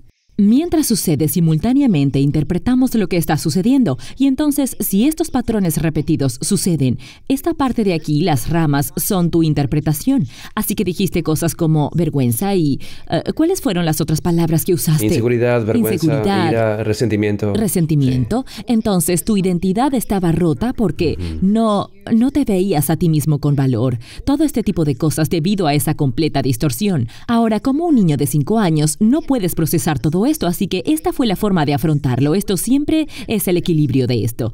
Y aunque esto es una distorsión, haces esto para equilibrar eso. Es decir, es sano, es genial, funciona bien porque sale el yo, pero aquí esto no es el yo. Así que esto explicaría cuando estabas en la escuela, tal vez te llamaron a la oficina del director, muchos de esos comportamientos vendrían de no valorarte a ti mismo, se vuelve más pesado, solo agrega más combustible a eso. Era solo sí. otra, sí, otra Más capa ira, añadida. más frustración, todo. Sí. Sí, así que en lugar de analizar por qué Luis está haciendo esto, te dijeron que estabas equivocado y te castigaron. Eso sería lo peor en tu situación. Mm. Y eso solo lo habría empeorado más. Así que entonces empujamos eso hacia abajo porque no sabemos qué hacer con eso. Y así sigues adelante y sigues esperando lo mejor y mantienes que ese niño es resistente, pero esto se construye. Así que en tu mente no consciente, estos pensamientos que tenemos, estas experiencias, se están construyendo a través de nuestra mente, cerebro, cuerpo y mente. Así que esto no es solo un árbol de pensamientos en tu cerebro, también está en el ADN de cada lado de tu cuerpo. Y están los campos gravitacionales de tu mente, así que está en tres lugares. Por eso es todo este impacto neurobiológico, por eso tiene todo este efecto en nosotros. Es una experiencia de todo el cuerpo. Así que cuando haces cosas como la terapia EMDR, ¿hiciste alguna vez esta terapia o Me cualquier? han hablado muy bien de ello, aunque todavía no lo he Sí, probado. bien, pero ¿hiciste un poco de terapia a lo largo de los años? He hecho un montón de terapias diferentes. Cosas experiencias de inteligencia emocional y talleres. Sí. Bien, que te ayudaron a llevar las cosas de tu cuerpo a tu cerebro y a tu mente. Trabajamos en ambos sentidos, lo obtienes del cuerpo cerebro-mente, mente-cerebro-cuerpo y tu red funciona de ida y vuelta, pero si no se tratan, se suprimen, se suprimen, se suprimen. Entonces tal vez solo cuando tienes 30, como dijiste, empezaste a hacer el trabajo o tal vez durante tus 20, no sé cuándo empezaste a recordar el, el trauma, no sé qué edad tenías cuando empezaste a afrontarlo. Es decir, todos los días recordaba el trauma y pensaba en él, pero no fue hasta los 30 cuando tuve el valor de empezar a hablar de ello. De acuerdo, así que fue bien. Entonces lo que tenías era la situación de algunas personas lo ocultan y ni siquiera saben lo que pasó. Entonces de Sí, repente vuelve y tú, Sí. tú lo vivías constantemente, todo el tiempo, ok. Tal vez no todos los días, pero una vez a la semana probablemente pensaba en ello. Bien, así que esto se movía de lo no consciente a lo consciente, por lo que la conciencia iba en aumento. Así que cuando hemos aumentado la conciencia pero sin gestión y sin procesamiento, Tiene que nuestra haber alguna ansiedad forma de sacarlo de alguna manera. Exacto. Así que estás subiendo, pero no estás procesando. Sigue subiendo, bajando, subiendo, bajando. Cada vez vuelve a bajar con más fuerza. Y vemos que cuando tienes mayor conciencia sin procesar, aumenta la ansiedad en el cerebro. Si tuviéramos que escanear tu cerebro en ese momento, habríamos visto un montón de bolsas rojas de alta energía beta a través de tu cerebro, lo que te habría hecho estar bastante nervioso, buscando cosas para mantenerte ocupado, distracciones, lo que sea. No sé exactamente lo que hiciste durante este tiempo, pero es posible que hayas estado siempre tratando de lograr o probarte algo a ti mismo de alguna manera, Por tratando supuesto, de constantemente. evitar Sí, quiero decir, todo esto. lo lancé a los deportes, así que me Brillante. pasaba el día haciendo deportes. Practicar, intentar mejorar y Sí, conseguir mi y objetivo. entonces eso te habría dado mucha liberación de adrenalina, pero luego Cada el- enojo, frustración, todo. Canalizabas la energía. Así es casi como si usaras eso para lidiar, casi como una adicción, pero era un mecanismo de afrontar, porque la adicción no es una enfermedad, es un mecanismo de afrontar, es una señal para lidiar con las cosas. De algo que aún no se ha curado. Exacto, exactamente, porque en un 86, 98 a 95% de los adictos salen de las adicciones por elección. Una vez que están listos para hacer el trabajo para encontrar el curso raíz, así que canalizaste durante un tiempo esa energía. También tienes la anandamida siendo liberada en tu cerebro, es la hormona de la felicidad, te habría dado una sensación de excitación y habrías tenido subidas de dopamina y todas las cosas que fueron drenadas. Entonces todo eso es por lo que haces deporte, pero con el tiempo explota como un volcán, así Bueno, que... entonces se acabó el deporte. Así que me dije, bueno, ¿dónde qué? canalizo mi energía? Ahí y lo fue entonces tienes. cuando todo comenzó a salir a la superficie donde yo Tienes estaba que como, lidiar con esto ahora. No me está gustando mi personalidad en estos escenarios cuando me siento desencadenado y a la gente no le está gustando mi personalidad a mi alrededor. Y ya no era divertido estar a mi alrededor durante un año o dos cuando yo estaba como... ¿En serio? No sé, no sé cómo expresarme. Qué pena. Sé lo que es estar contento y enfadado, no tengo un abanico de emociones. ¿Cómo Sí. aprendo a expresarme? Y siento empatía por muchos humanos, pero me refiero a los hombres en general que son construidos y criados en el mismo tipo de dinámica. Cuando nunca se han enseñado a expresarse sin que te avergüencen, sin que te hagan quedar Es terrible. mal, sin que te digan no hagas eso, eso no está bien, no puedes mostrar esta emoción, se supone que debes ser un hombre o esto o lo que sea. Masculinidad tóxica. Sí, también para las mujeres. Tienes que hacer esto y esto y esto y no puedes hacer esto. Es un desafío porque siempre estás suprimiendo algo. Mm, siempre estás suprimiendo y tienes que volver, y eso es volcánico en la naturaleza, porque como un volcán burbujea y explota y la lava se derrama, hacemos eso también. Explotó como acabas de describir, estaba explotando en tu comportamiento, donde ahora se notaba en tu cara y en la cara de la gente. Y esas eran señales, entonces todos esos patrones de comportamiento, las emociones, la perspectiva de la vida que tenías, las sensaciones físicas en tu cuerpo, todas esas eran señales de advertencia de que tu cuerpo estaba tratando de restaurar el equilibrio. Tu mente inconsciente estaba tratando de llamar tu atención de que necesitabas identificar la fuente. Tu sistema inmunológico estaba enviando todo tipo de señales a esta experiencia física real en tu cerebro, este pensamiento físico en tu cerebro, tu cuerpo tratando de deshacerse de él, estaba tratando de expulsar y deshacerse de esa cosa que está causando un desequilibrio. Salen nuestras emociones, comportamientos. Bueno, también y- se sale físicamente. Quiero Sí, decir, sí. yo estaba pasando eh, por un escenario difícil donde sabía que una relación en la que estaba necesitaba terminar, pero me estaba quedando en esta relación. Sí. por más tiempo de lo necesario. Y nunca en mi vida había tenido esto. Pero empecé a tener brotes de eczema en mi piel, Vaya. en diferentes partes de mi cuerpo, y yo estaba como, ¿qué es esto? Y Wow. yo estaba como, nunca he tenido esto en mi vida. Empecé a hacer todas las pruebas de la alegría, no tenía alegrías, yo estaba como, tal vez esto, tal vez estoy teniendo demasiada mantequilla de alimentos o no sé qué, gluten, ¿qué es esto? Sí, ¿Gluten? ¿qué es? Sí. eliminando todos estos alimentos, nada está cambiando y yo estoy como, bueno, tal vez solo voy a vivir con esto para siempre. Entonces, ok. Y literalmente no bromeo. Una vez que la dinámica de la relación cambió e hizo transición, mi cuerpo se empezó a ir. Y yo estaba como, esto es una locura. Los síntomas físicos se fueron, este brote de sema o lo que sea. Pensé que iba a seguir extendiéndose por todo mi cuerpo, ahora se fue. Se fue. Y es una locura como cuando dices, necesitamos ser conscientes de las señales, tenemos que ser conscientes de las Sí. emociones, los sentimientos, las frustraciones, los pensamientos, la tristeza, la ira, y ser conscientes de ellos y también ser conscientes de nuestros síntomas. Absolutamente, por supuesto, absolutamente. Estoy agotado, estoy emocionalmente cansado, estoy frustrado y nervioso todo el tiempo, tengo esemas, se me cae el pelo, no sé, no sé, Sí. estoy pensando, Sí. la visión, algo. Exacto. Tengo palpitación, tienes que estar notando los síntomas físicos también por el estrés emocional. Exactamente. Lo que dijiste es muy importante y es fascinante que destacaste un vínculo psiconeurobiológico tan clave.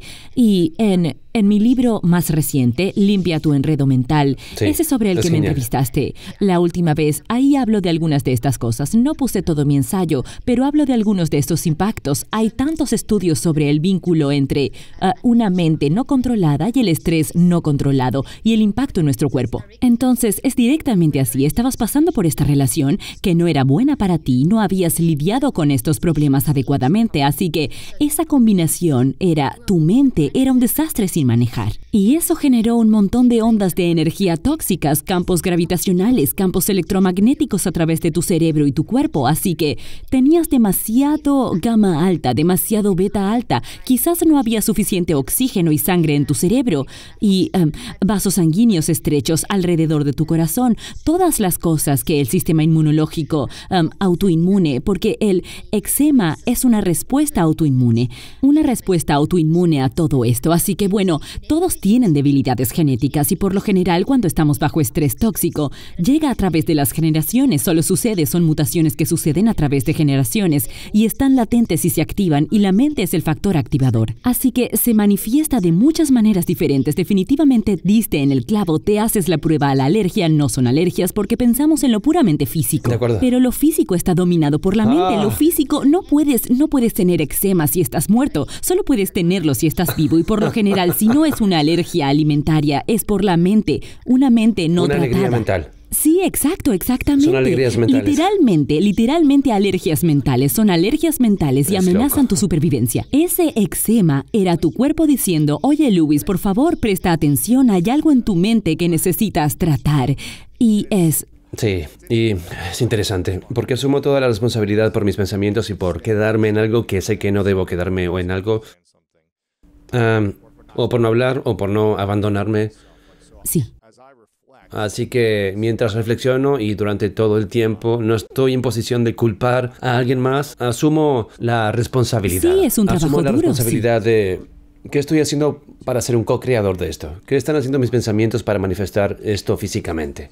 Y cómo soy responsable de elegir algo diferente. Y puede que sea una decisión difícil para hacer una decisión valiente que he tenido miedo de hacer. exacto. Pero esa es la que mi cuerpo me dice que tienes que hacer. Tienes que O hacerlo. necesitas cambiar algo, necesitas cambiar algo dentro Sí. de esa experiencia de relación, sea lo que sea. Algo. Y creo que muchas veces la gente culpa a los demás de sus sentimientos, sus emociones, las manifestaciones físicas de su mente. Y tal vez sean parte de esa experiencia, pero no puedes culpar a otra persona por la forma en que piensas y sientes, o, o sí. Tú eh, diste en el clavo. No, no puedes. La respuesta tiene dos partes. Nuestro entorno nos afecta. Así Sí. que cuando abusaron de ti fuiste víctima. No hay ninguna lección que aprender de lo que pasaste como una víctima. Solo hay curación que necesita tener lugar. Y eh, de eso eres responsable de tu curación. Y siempre suena muy duro cuando alguien sufrió abusos sexuales y decir que es responsable de su curación. Nadie más puede curarme. No, Nadie más no. puede- La gente puede apoyarte. Esa es la diferencia. Esta es toda la cultura de la mejora. Nos necesitamos. Necesitas a alguien que te anime. Necesitas terapia, coaching, asesoramiento. Cualquier versión de eso, cualquier combinación de eso. Pero también tienes que saber manejar tu propia mente, porque al fin y al cabo no estás en terapia 24/7. No estás en coaching 24/7. La gente duerme. Estás despierto por la noche. Tu mente te despierta. Estás sentado con la ansiedad. ¿Qué es lo que haces? La gestión de la mente se convierte en algo tan esencial para que podamos hacer frente a cualquier cosa por la que pasemos. Y si no podemos cambiar, y lo sigo diciendo, no podemos cambiar lo que nos pasó, pero podemos cambiar lo que hay en nosotros. Así que ese abuso por el que pasaste, no hay nada que pueda excusarlo y no hay ninguna lección que aprender. Y tú fuiste una víctima y esa persona estaba equivocada, necesita, sabes, la persona o personas necesitan ser castigadas y esos son los hechos.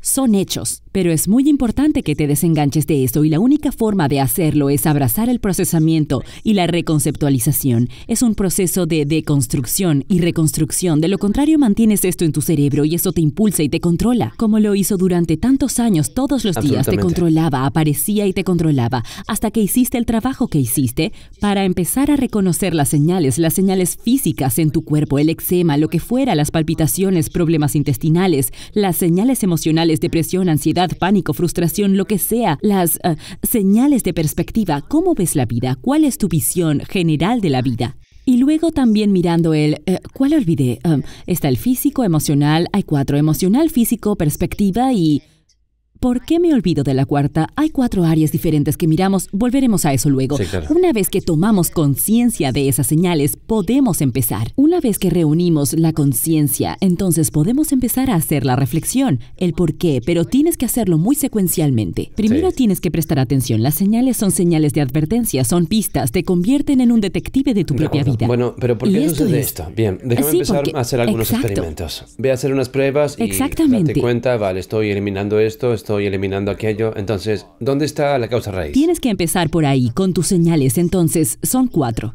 Emocional.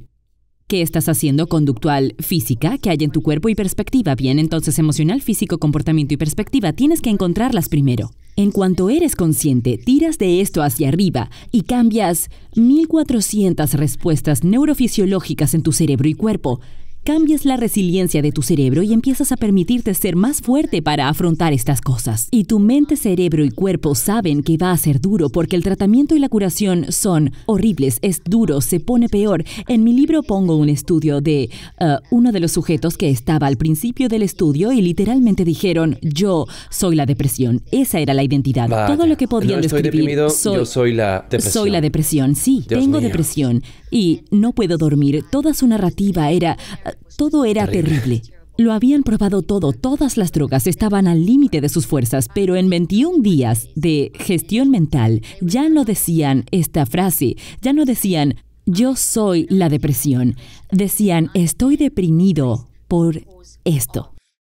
Y esto es importante porque ahora ellos habían entendido, decían, la depresión es una señal, me está diciendo algo. Y me dijeron algo muy interesante. Dijeron, estoy aún más deprimido y más ansioso que cuando empecé el ensayo.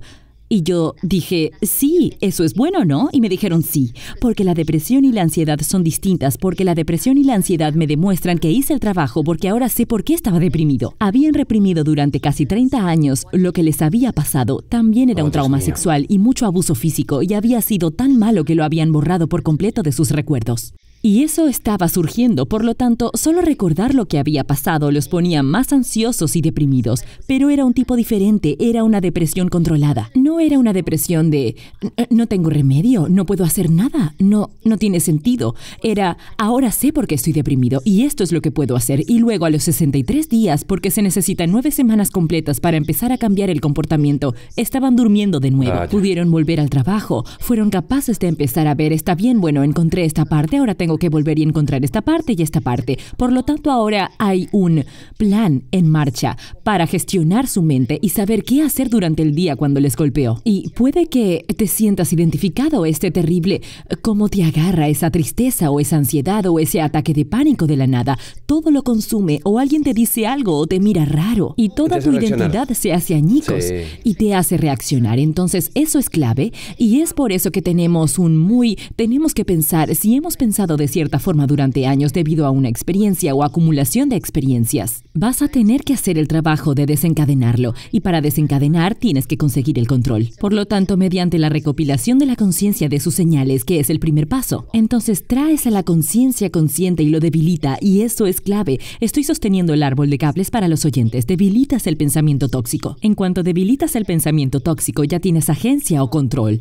Aún te sientes deprimido, sigues sintiéndote confundido, sigues sintiendo cosas, pero hay un cambio y el cambio es que ahora tomas el control, tienes poder. Solía decirles a mis pacientes, toma dos sillas, pon dos sillas una al lado de la otra, siéntate en una y esa es la mente sabia y la otra eres tú, tu mente desordenada. Y habla tú mismo, usa el tú, usa el pronombre tú y date terapia y crea un ambiente que te encante, que sea amable, con gracia de aceptación. Y está bien, todo lo que haces, sigue diciéndote a ti mismo. Siempre le estoy la parte de la ciencia de decir, escucha, neurobiológicamente estás cableado para el amor, tu mente tiene un sesgo optimista. Cuando sientes la toxicidad negativa, esto es solo tu cuerpo tratando de restablecer el equilibrio. No hay nada malo en ti, eso es lo que te pasó, lo que es una circunstancia adversa, trataste de hacerle frente, así que tus comportamientos son solo señales. Bien. Entonces, si sigues diciéndote eso y luego trabajas sistemáticamente a través de los cinco pasos, consigues más y más control, utilizas el pensamiento dirigido por la mente para dirigir la neuroplasticidad de tu cerebro que cambia. Entonces recableas tu cerebro lentamente. No es rápido, es un proceso lento y deliberado durante 63 días. En los primeros 21 días es de 15 a 45 minutos. Luego, la segunda fase de 42 días, solo vas a pasar de 1 a 7 minutos. Y ese ciclo. Y noté esto ahora, todo con estudios cerebrales y y sangre y ADN y utilicé tantos niveles diferentes de estudios. Y estamos publicando todo en este momento, pero hay un resumen en el libro y está en mi página web. Y estamos haciendo un estudio nacional ahora, pero lo que quería mostrar a la gente era que tomando esta actitud, este tipo de imagen que acabo de pintar de lo que hiciste contigo básicamente, solo te doy más detalles, en realidad estás dirigiendo la neuroplasticidad de tu cerebro, estás tomando este árbol tóxico, lo estás deconstruyendo, estás tomando la energía que está en estas ramas sosteniendo tu interpretación de ti mismo que no es la verdad tomando ese trauma que te sucedió, cambiando todo eso, y la energía nunca se pierde, y todo esto es energía en estas proteínas, y solo se transfiere, así que estás tomando eso lentamente cada día y lo transfieres, y eso se está debilitando y más y más, y estás construyendo una versión saludable. Entonces para el día 21 tienes este hermoso y saludable árbol verde. Ahora mira, voy a sacar una parte de él. Estoy sacando un pequeño pedazo, un pequeño pedazo verde. En esto se convirtió. Ahora está encogido en una versión verde que es tu terrible historia triste que todavía te pone triste, todavía te hace llorar. Nunca debió pasar, pero pasó. Pero ahora cambió lo que aparece en ti. Ya no es esta cosa tóxica que está causando que tu sistema inmunológico envíe linfocitos T, linfocitos B, macrófagos, tratando de la misma manera que el virus COVID, que está dañando a tu cerebro y tu cuerpo. Sabes, no es lo mismo que el COVID, pero también es proteína, por lo tanto, el sistema inmunológico piensa que puede ser algo parecido al COVID. Um, y, y cambias eso, y ahora ya no es una amenaza para tu supervivencia, tienes un nuevo mecanismo de supervivencia. Entonces recuerdas por qué cuando reaccionas, esto es a lo que vuelves, no a ese árbol tóxico. Pero para llegar al punto en el que vuelves a esto, el árbol verde, tienes que hacer esos 42 días extra de trabajo, porque los hábitos solo se forman en estos ciclos, y tengo pacientes neuropsíquicos que a veces tardan dos años en llegar al punto de resolver todo. Algunas personas pueden hacer un ciclo, no hay, no hay nada que se pueda hacer de la misma forma. Esto no es una técnica, todo lo que te estoy es cómo poner tu mente bajo control para que puedas desconectar estas cosas y recablearlas. Y es diferente para la narrativa de cada uno, pero puedes hacerlo, es esperanzador, podemos hacerlo. Es un trabajo duro, difícil y traumático y necesitas apoyo. Y hay momentos en los que te deprimes tanto que no puedes levantarte de la cama durante unos días por ser consciente de lo que pasó, pero es eso, es progreso. Y recuerdo haber tenido pacientes que pasaron de tener tendencias suicidas a sufrir altibajos, a parecer que lo a recomponerse y de repente caer en profundas depresiones. Todo es progreso porque en cada etapa hay otro nivel de conciencia y luego llegar al punto de bien puedo sobrellevarlo, puedo avanzar, puedo empezar, ¿qué es lo que tú hiciste? Sí. Sabes, claro, ya sí. lo hiciste, ahora canalizaste toda esa energía para ayudar a los demás, Todo es proceso, asombroso. Todo es un proceso. Siempre, y siempre tiene que haber nuevas lecciones que aprender, supongo. Oh, sí, es, es ese desorden, reparar, crecer, eh, desorden, reparar, crecer, ¿sabes? Claro. Darnos permiso, está bien ser desordenado, está bien estar deprimido y ansioso, no es una enfermedad, no es un cerebro roto. Todo eso son señales. Sé Poirot, sé Sherlock Holmes, sé tu propio detective del pensamiento. Hay tantas cosas que quiero asegurarme que todavía repasamos, pero quiero hablar de las relaciones en un futuro episodio, en una futura Sí, entrevista. fantástico. Así que, así que deja un comentario en el canal de YouTube y pon el hashtag relación si quieres que hagamos otra entrevista sobre la conexión cerebral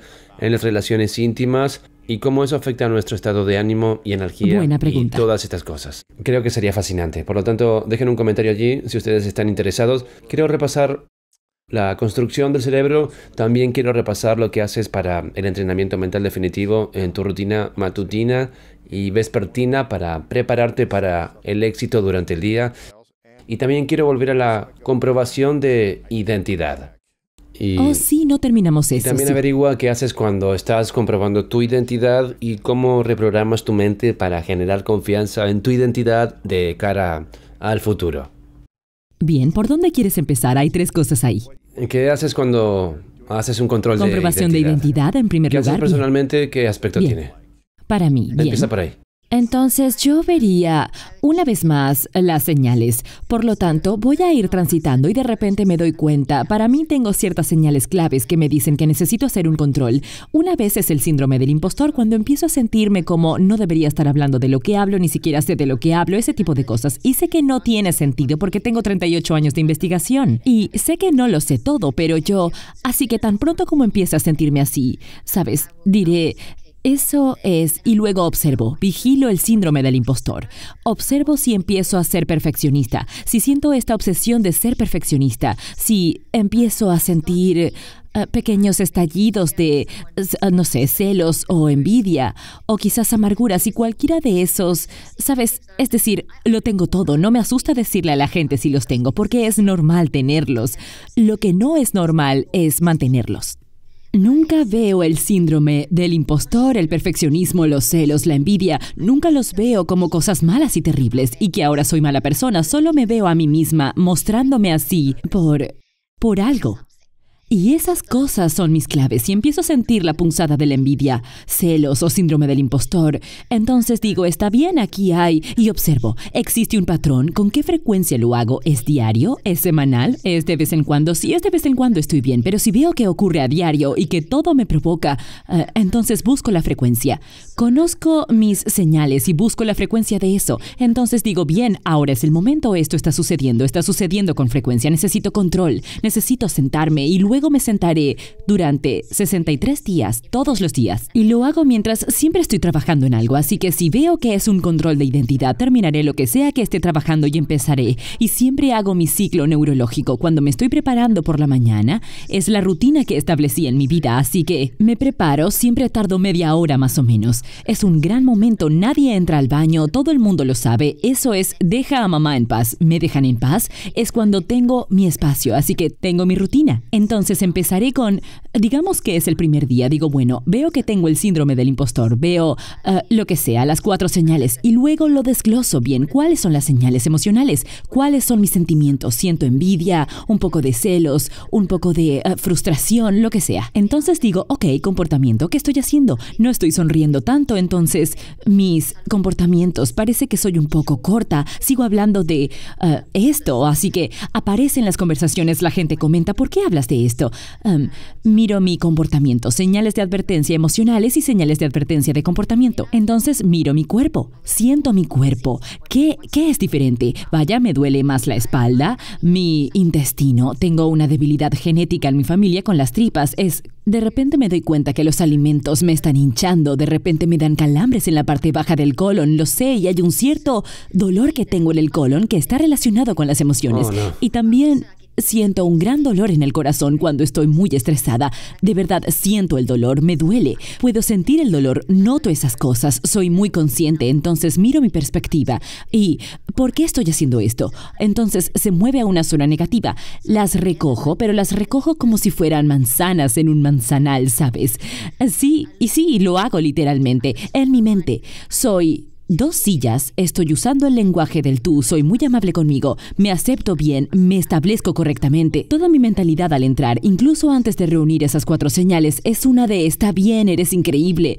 Nadie puede hacer lo que tú puedes hacer. Un poco de motivación, también soy amable conmigo, no pasa nada. No eres la primera persona que hizo esto. Sentir envidia o celos no es que seas una persona mala, hay una razón, me recuerdo a mí misma esas cosas. Eso cambia mi neurofisiología, sé por la ciencia que hice que ahora tengo 1400 respuestas neurofisiológicas trabajando para mí. Justo antes de empezar el proceso, Vale. hago la preparación del cerebro. En mi aplicación hago esto, por lo tanto, yo físicamente camino a través ¿Cómo de audio la video. Neurocycle.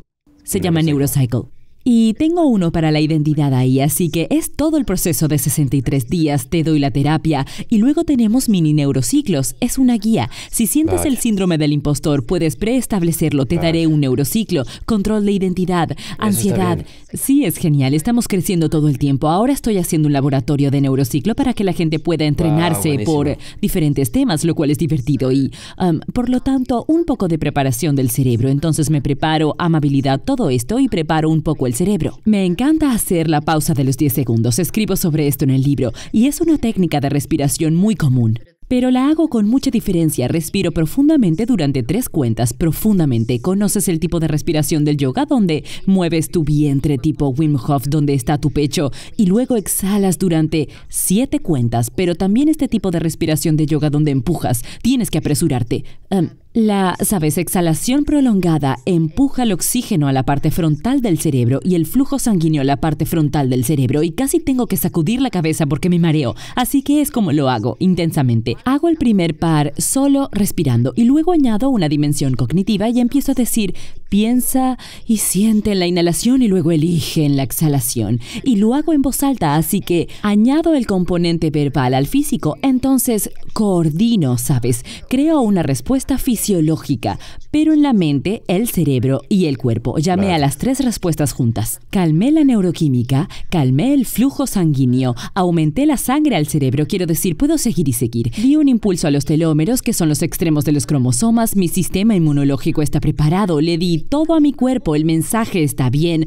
No tienes que hacer que el estrés trabaje para ti, pero tampoco en contra, así que incluso mis vasos sanguíneos alrededor de mi corazón se dilataron y yo conseguí más flujo sanguíneo. Entonces de inmediato siento menos dolor de mi corazón, enseguida porque calmé el dolor de mi cuerpo, porque ese dolor que siento en mi corazón viene de un Uh, trauma que está en mi mente, el trauma de identidad en mi mente. En fin, entonces luego voy a los cinco pasos, voy a reunir esas cosas, como dije, las cuatro áreas diferentes, emocional, física, conductual y perspectiva. Luego voy al paso dos, y la recopilación es cómo recoger manzanas de un árbol. Pero no dejo que todo caiga sobre mi cabeza, es demasiado. Te haces a un lado, te visualizas a ti retrocediendo y seleccionando. Y hago lo que puedo ese día, tal vez solo puedo elegir la envidia ese día, tal vez solo no sonreír tanto, tal vez solo perspectiva, parece que estoy un poco decaída o negativa. No tengo tantas esperanzas porque soy una persona positiva y esperanzada, pero no está ahí, así que tal vez podría manejar un poco. No fuerzo para hacer mucho en un día y luego, una vez que me reuní, tomo cada cosa y bien, ahora voy a reflexionar, preguntar, responder, discutir. ¿Qué significa esto? ¿Por qué? ¿Por qué? ¿Por qué? Y discuto y respondo. Así empiezo a encontrar el significado y luego lo escribo. Entonces, lo que hago es una metacognición. Empecé a hablar antes de eso. Una metacognición es una forma de organizar la información que se parece a un árbol. Crece en ramas y otra rama a otra rama y otra rama. Cada rama está conectada a otra cosa. Haces crecer ramas en una hoja de papel y en cada rama escribes una palabra o un par de palabras o una frase, pero nada flota en la página. Esto es muy importante y empiezas en el centro y construyes. Puedes ir en el sentido de las agujas del reloj o en sentido contrario. Realmente es como lo quieras hacer. Luis, desarrollé el sistema hace unos 38 años y lo he mejorado, Vaya. ¿sabes? Lo hacía con mis pacientes, trabajaba con gente, por ejemplo, con desórdenes de personalidad, usando la técnica de metacognición, podía ver las diferentes personalidades y reintegrarlas. Y encontrar la fuente del trauma, conseguir que tu mente consciente trabaje con tu inconsciente, encontrar todos los billones de pensamientos que hay en tu mente inconsciente donde están almacenados, conseguir esa profundidad. Porque tu mente consciente trabaja cuando estás despierto, pero tu mente inconsciente trabaja 24/7. Este es el tercer paso de cinco pasos que van al metacog. Fuerzan la integración y esta conexión entre el consciente y el inconsciente. Entonces empiezo a escribir lo que recogí sobre lo que reflexioné, pero en este metacog es un desastre. Solo hay palabras por todas partes y lo vomitas en tu página y empiezas a ver cosas que no puedes creer que, quiero decir, cada vez que lo hago estoy asombrada de lo que veo. Luego el cuarto paso es una revisión y luego voy a empezar y voy a tomar color y voy a mirar qué estoy diciendo aquí, qué significa esto y trato de poner orden. Desencadenantes, patrones y antídotos. El antídoto es lo más importante. Dijiste que es un estado de antídoto o declaración reconceptualizada cuando hablaste de ah, esta advertencia de la tristeza que sentías y dijiste que te diste permiso para sentir la tristeza y tu antídoto o versión reconceptualizada fue está bien, me siento triste porque esto es una transición en mi vida y está bien sentir eso y luego seguiste. Eso es lo que buscas en el cuarto paso. Buscas cuál es el antídoto.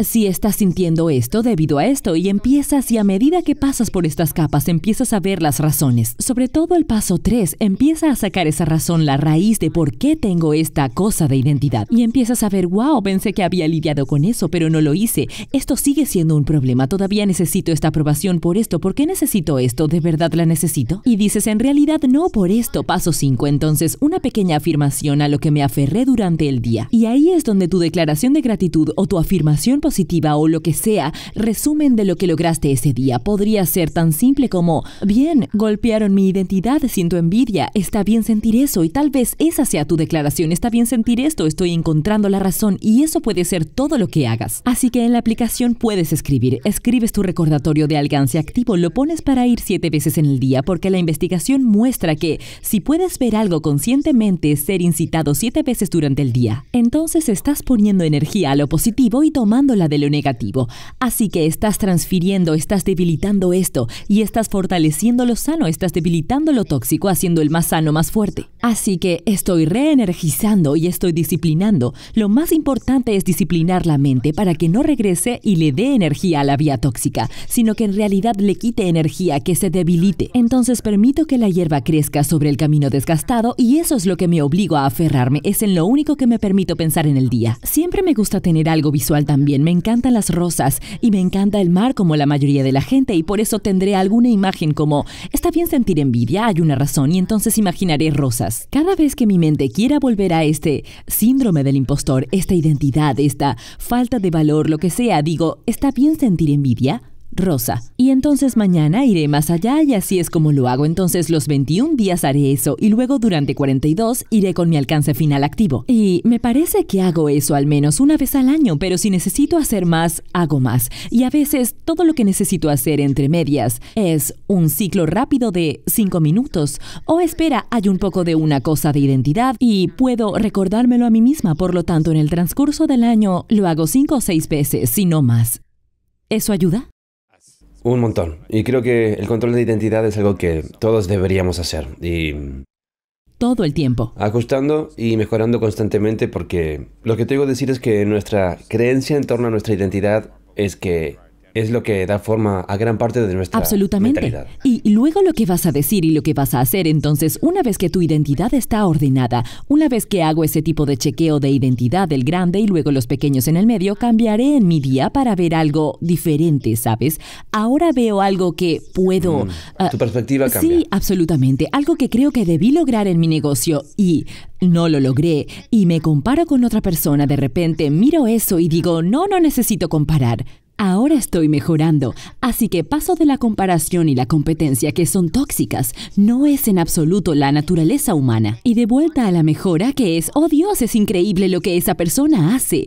¡Wow! Me encanta, me encanta eso para ellos y lo digo en serio y estoy emocionada. Y los realzo. ¿Cómo te mejora a ti? ¿Qué puedo aprender? ¿O qué funciona para mi vida? ¿Qué tengo? Necesito esa cosa exacta. No puedo tener esa cosa exacta porque esa es la cosa de esa persona. Eso es lo que tiene.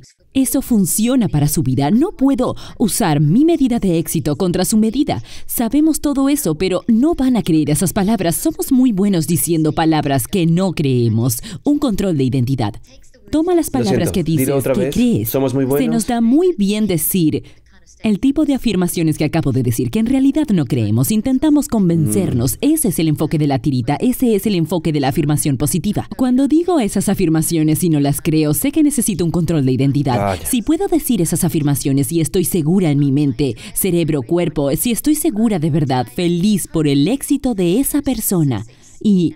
Y no estoy pensando, wow, yo lo quiero. Si empiezo Dame a un pensar, ejemplo como sentir celos o envidia de otra persona y decir, me alegro por ella, pero no sentirlo ni creerlo. Así que déjame pensar en algo. Es como, es un chequeo de todo el cuerpo. Hubo veces en las que dije, oh, estoy tan feliz de que esa persona consiguiera un bestseller del New York Times.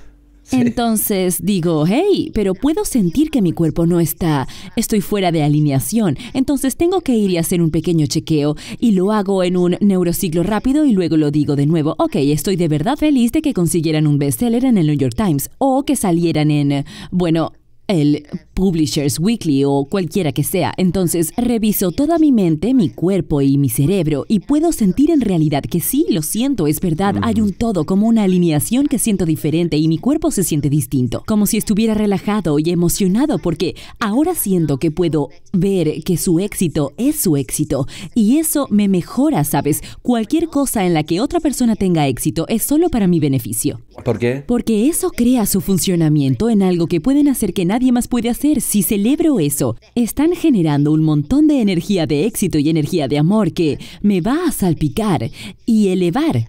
Y yo a cambio los construyo a ellos. Así que este trabajo de Einstein no es que él hablará de esto directamente, pero él trabajó con algunas personas sobre cómo generamos fotones. Y hubo un tremendo avance en este trabajo, sobre todo en el campo de la física cuántica. Si te alegras de ver a alguien, vas a generar fotones. Siempre generamos. Cuando estás vivo estás generando energía. Tú y yo estamos haciéndolo ahora. Nos impactamos mutuamente.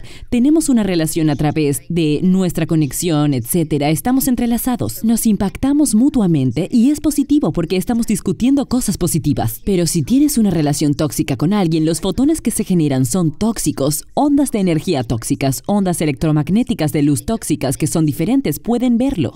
Ese es el ejemplo de eso. Es si entras en una habitación y la gente no te gusta, puedes sentirlo. O si alguien no puede mirarte a los ojos, la forma en que, o una especie de sonrisa, pero sabes que hay algo mal, puedes cortar la atmósfera con un cuchillo. A eso me refiero. Es real. Esas son verdaderas ondas de energía tóxica que vienen del pensamiento de esa persona en su cerebro, mente y cuerpo. Están generando toda esa energía que es tóxica y eso es lo que sientes. Es como si te dispararan con una pistola de aire comprimido o una bola de pintura así de real es y en nuestro modo natural, cuando estamos en un modo no destructivo, mejoramos. Es como dos ondas, si piensas en dos olas del mar, cuando dos olas chocan entre sí, se cancelan mutuamente y es una línea plana. Eso es competencia, nadie sale beneficiado.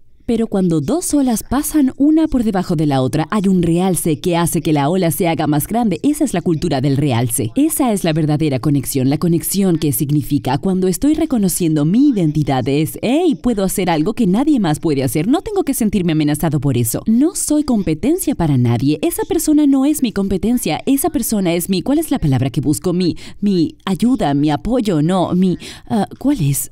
Colaborador. Mi colaborador, o- sí, están de mi lado, todos están Sí, de mi sí. lado, todo el mundo, nadie es una competencia. Si entramos en ese modo, y hubo tanta ciencia mostrando esto, es, eh, hay ciencia antigua sobre esto, puedes retroceder miles de años y encontrar enseñanzas sobre esto en textos antiguos y diferentes religiones.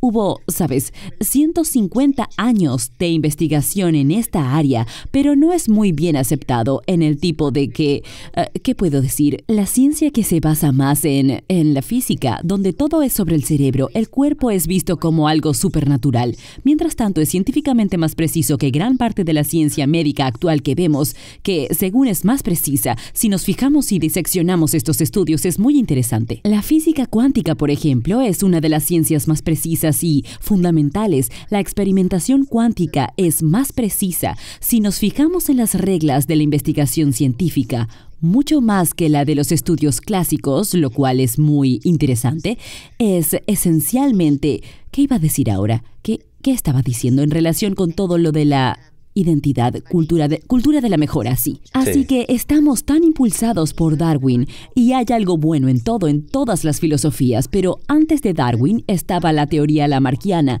y no quiero profundizar en nada de esto porque es un área enorme, pero esencialmente no era que necesitáramos competir, la competencia no es lo que genera el éxito o acabar con alguien a expensas de otro.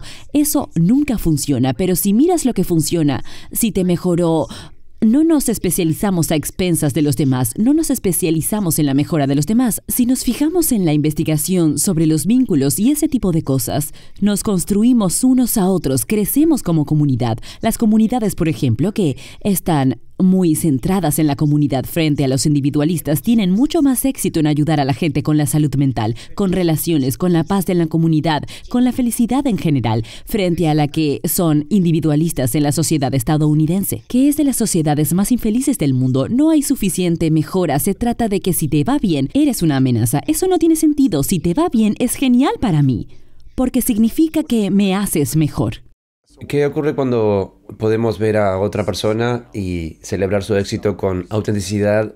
¿Qué hace eso por nuestra Eh, mente? cerebro. Oh, Nuestro oh. cerebro frente a la envidia y los celos y el resentimiento y la frustración porque ellos están ganando o triunfando y tú no estás a ese nivel o algo Bien, así. así que la forma más fácil de ver lo que hace la mente es pensar en cuando nos fijamos en QuickTime. Tiene todas las pestañas barras que van para un podcast. Así es como se ve la memoria en la mente. En el área de tu mente son estas ondas. Una onda de amor es como una onda sinusoidal versus cuando estás en cualquier tipo de envidia o celos es una onda muy errática. Cuando eso pasa por tu cerebro, crea un caos neuroquímico. En primer lugar Wow, tienes caos. No hay suficiente equilibrio entre la serotonina, la dopamina, la anandamida y las diferentes sustancias químicas, lo que afecta al equilibrio hormonal, a las palpitaciones del corazón, a la función cardiovascular y a la función inmunológica. Todos los sistemas del cuerpo se alteran, por eso nos sentimos perturbados en todo el cuerpo. En el cerebro verás un aumento de beta alta. Beta alta si piensas en una ola. Cuando la ola está rompiendo y ves el blanco,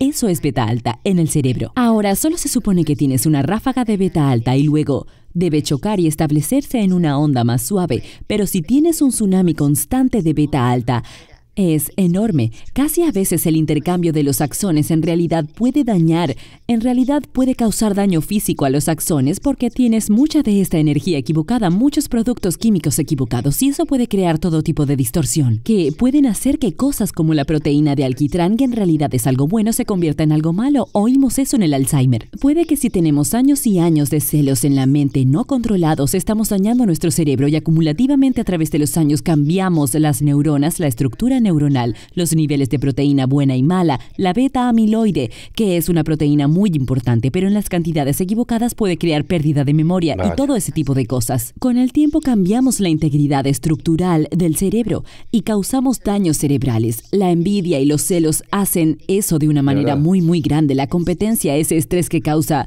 estrés tóxico, muy malo para el corazón, porque obstruye los vasos sanguíneos. Em, Entonces, eso es menos flujo para el cerebro. Si no tienes suficiente flujo sanguíneo en el cerebro, te vuelves más impulsivo, pierdes inteligencia, pierdes flexibilidad cognitiva. En lugar de tener muchas ondas de gamma fluyendo de la parte posterior a la parte frontal del cerebro, de forma equilibrada, vas a tener un tsunami de gamma. De forma desequilibrada, eso no es bueno, vas a tener demasiado aumento de delta durante tu consciente. Hay muchos patrones diferentes que empiezan a surgir y cada vez más aprendemos sobre esto. A medida que avanza la ciencia, hay un impacto definitivo, pero se puede cambiar, se puede invertir. Esa es la esperanza de la neuroplasticidad, porque la neuroplasticidad no puede ocurrir por sí sola, ocurre dirigida por la mente. Tú la diriges, así que puedes cambiarla. Sí, por lo que es cambiable, pero crea un lío enorme y te va a llevar a tomar decisiones que quizás te lleven a la cima de una determinada manera, pero el precio lo pagas en eh, relaciones, salud, felicidad, paz. Tantas personas que llegaron a la cima de una manera competitiva no son felices. A mucha gente en su lecho de muerte les preguntas qué dirán, ojalá hubiera trabajado mis relaciones en el amor, estamos diseñados para mejorar, todavía se puede. Claro, también tenemos que definir qué es llegar a la cima. Sí, claro. Hay que redefinirlo eso también. En este momento se trata de cuántos me gustas tienes en Instagram, cuántos bestsellers del New York Times tienes, cuántos tenemos versiones muy muy tóxicas de lo que es el éxito. Y eso también hay que cambiarlo. Absolutamente. Son muy competitivos. Esto es fascinante. Tengo curiosidad, estoy pensando la mayor parte de mi vida en la que me centré en la competición. Y No lo somos todos, crecimos en ese ambiente. creo que en realidad me gusta la competencia, pero más la competencia tóxica tal vez, Sí. donde es... Donde es como que necesito ser el mejor, necesito ser el número uno, necesito ganar a toda costa. De lo contrario, no me siento querido ni apoyado, deseable o lo que sea. Estoy a favor de la competición y de sacar lo mejor de cada uno. Sí, eso es mejora. Eso ni siquiera es competencia. Eso está bien. Mejorémonos unos a otros, a ver quién hace mejor lo que sea, crea el mejor.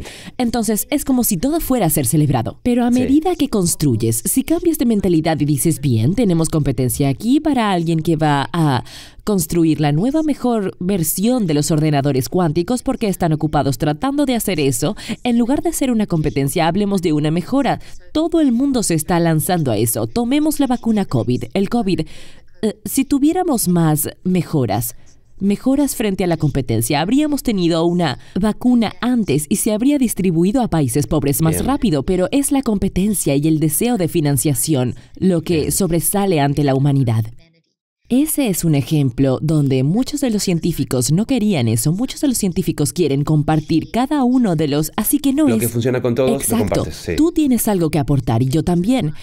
Tú completas una pieza del puzzle, yo también. Si ponemos nuestras cabezas juntas, en lugar de competir unos a otros, eso nos llevará al éxito, un éxito de tipo humanitario global. Lo opuesto a que se necesita un hombre para marcar la diferencia es cómo lo vemos, es como toda nuestra perspectiva necesita cambiar. Sí.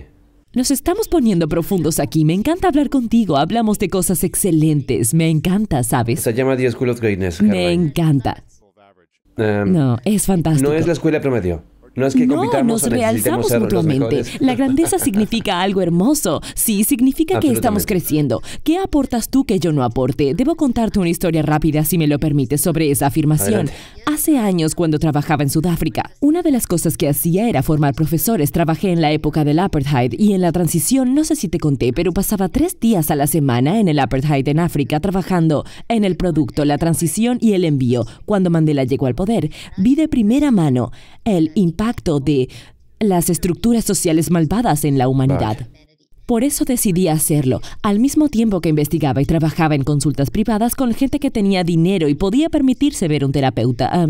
Así que fue una de las mejores experiencias de mi vida. Ahí es donde aprendí lo que sé sobre la vida y sobre este campo en el que estoy. Porque vi cómo la humanidad, cuando pones tu mente en las cosas, puedes, es increíble. The School of Greatness honestamente fue ese periodo de tiempo. Y solía formar a muchos profesores en el ámbito educativo para intentar ayudar a mejorar la terrible educación a la que estuvo expuesta la población negra.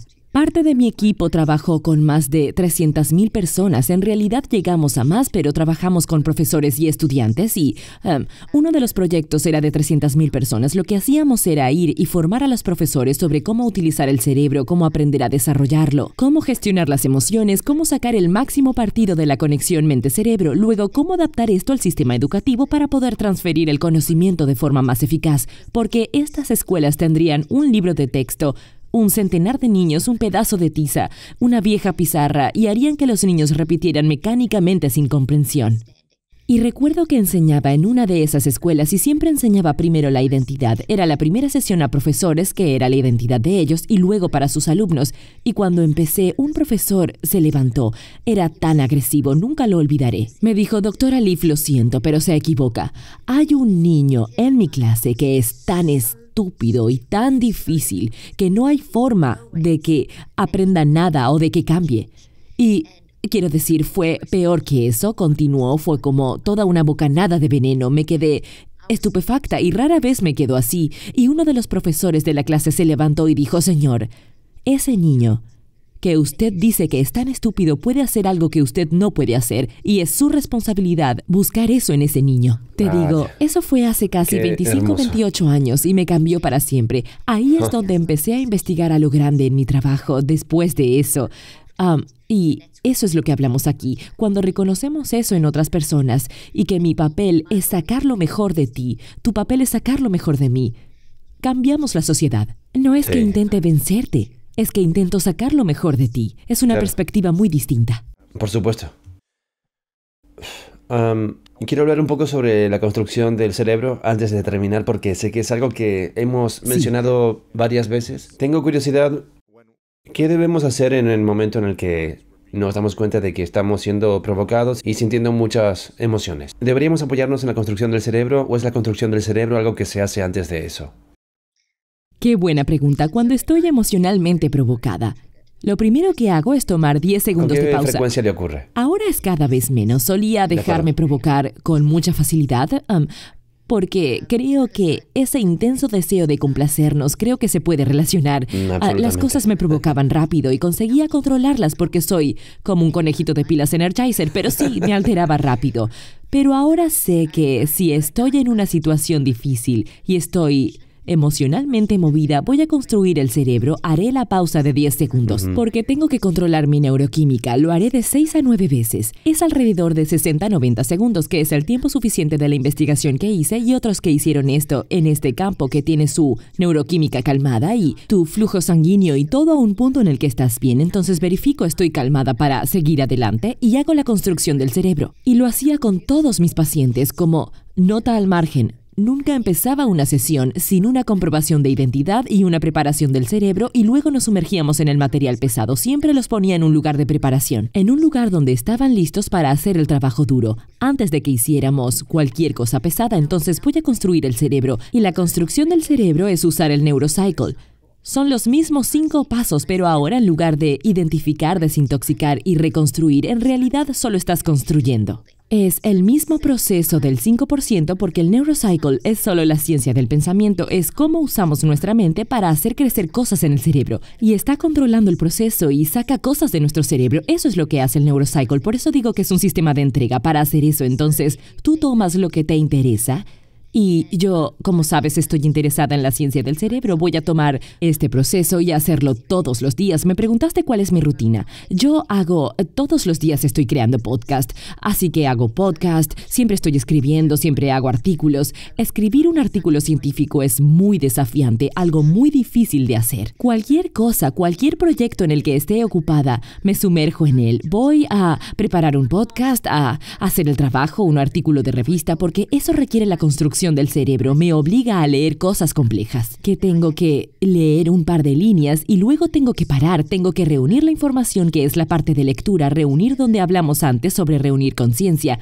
Estoy hablando de tomar conciencia en términos de leer esta información. Lo hago en voz alta y lo hago con mi bolígrafo subrayándolo, porque así se juntan todos mis sentidos. Esto lo explico en profundidad, por cierto, en este libro y también en la aplicación.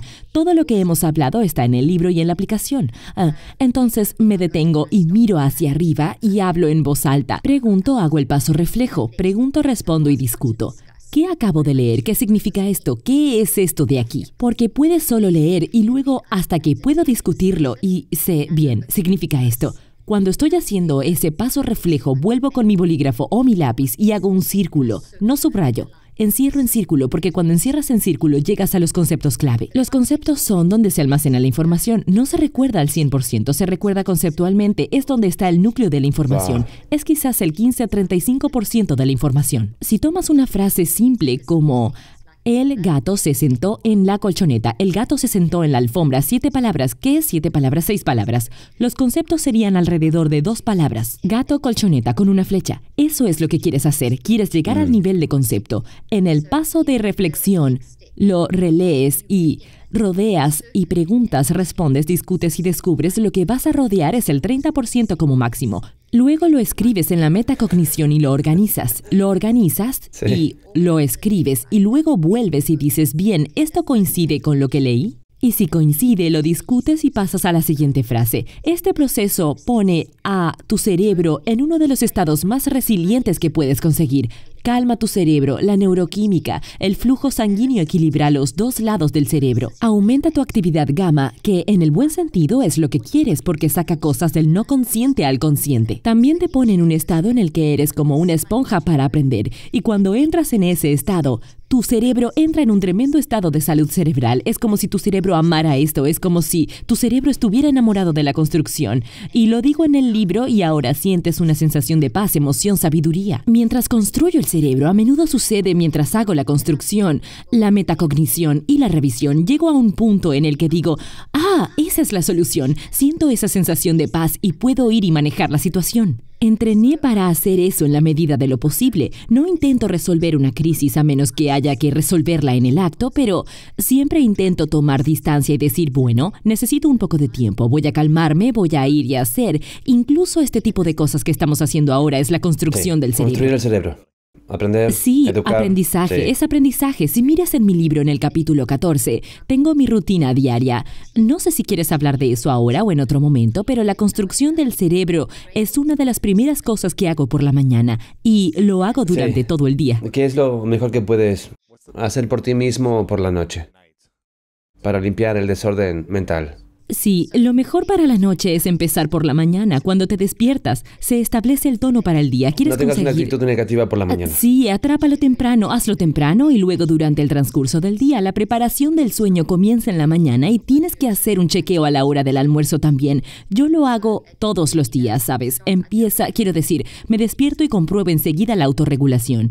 Ah, manejo mi mente, cuál es mi estado de ánimo, cuál es mi mentalidad. Si me quejo, si soy negativa, si me preocupo, lo detecto enseguida. Me lleva dos minutos, lo hago muy rápido. Voy al cerebro con mi café, obviamente haré algo de brain building, aunque sea 15 minutos, y luego empiezo a prepararme y a desintoxicarme. Y Luego, durante el transcurso del día, tomaré periodos donde haré momentos pensantes. Los momentos de reflexión son donde activas lo que llamamos la red de modo por defecto en tu cerebro, que es muy importante para restaurar la energía, restaurar el equilibrio. Es un restablecimiento. Un momento pensante se puede restablecer en unos pocos segundos. Es genial tener un bloque de 10 minutos si se puede durante el transcurso del día y mejor si hay sol. Lo único que haces es soñar despierto, cierras los ojos, desconectas, conectas con lo interno y dejas que tu mente descanse un poco. Y es muy poderoso. Hay toneladas más que puedo decirte. Está en el libro, pero es como otra discusión de dos horas. Pero es tan poderoso. Los momentos de reflexión son tan reparadores. Me aseguro ¿Cómo que... le llamas? ¿Qué momentos? Momentos de pensador. Momentos de pensador. Pensador sí, es de- P-E-N-S-A-D-O-R. Momentos Pensador de de pensador. momentos, Pe- sí. Perdón. Momentos Aquí de vas a sonar pensador. como un americano. Sí, allá vamos. Tengo que ir a América. Pensador. Tienes que ir a Dallas. Dallas, sí.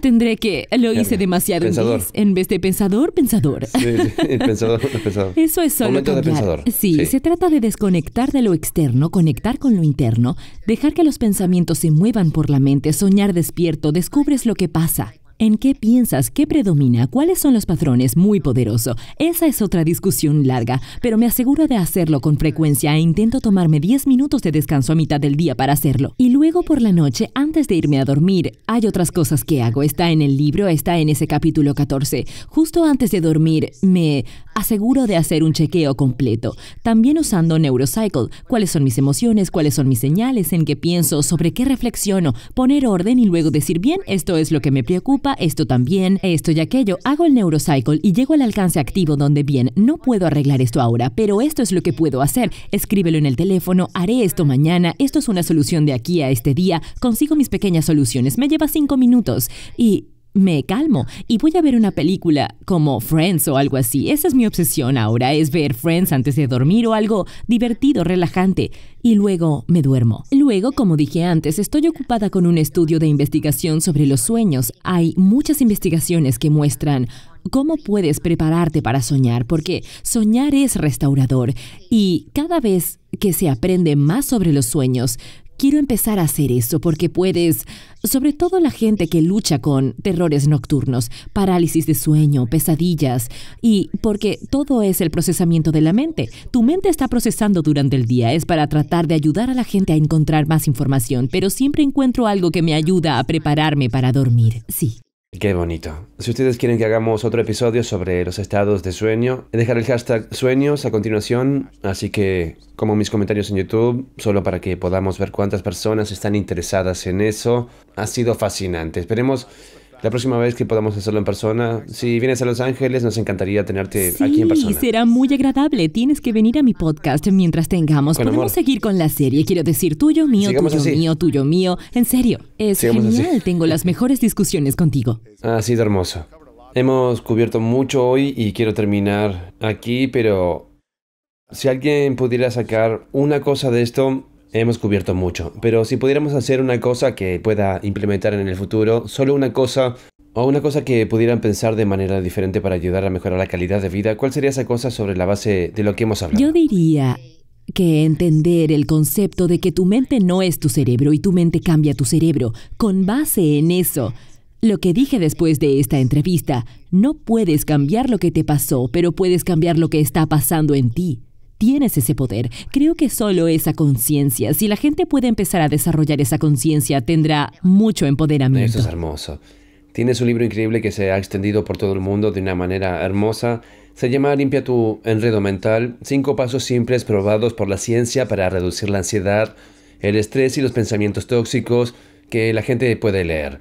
Es extremadamente práctico, pero tiene toda la neurociencia y la investigación que respalda todo sobre cómo puedes aplicar estos sencillos pasos en tu vida en estos momentos estresantes y abrumadores que todos hemos enfrentado, pero que te den mucha más claridad y paz. Asegúrense de conseguir unas cuantas copias del libro, es poderoso, me gusta mucho, limpia tu enredo mental. Además estoy ansioso por ver tu aplicación. Neurocycle no la he descargado todavía, así que voy a descargarla después. Descárguenla en la tienda de aplicaciones. Estoy suponiendo que está en todas Sí, partes. iTunes, Google Play, sí, está por todas partes. Consigue Se sigue actualizando, así que sí.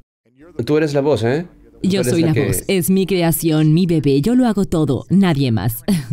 Tengo un equipo de ingenieros, claro, pero yo soy la que habla. Tú eres el contenido, sí. El contenido, sí. Podemos descargar Neurocycle, la app, y también tu podcast, que es Clean Up the Mental Mess. Sí, el mismo nombre del libro. Sí. Absolutamente, sí. Hay un montón de cosas más grandes allí. También tuvimos otra entrevista que ha explotado en YouTube y en audio. Si quieren escucharla o verla, también la enlazaremos.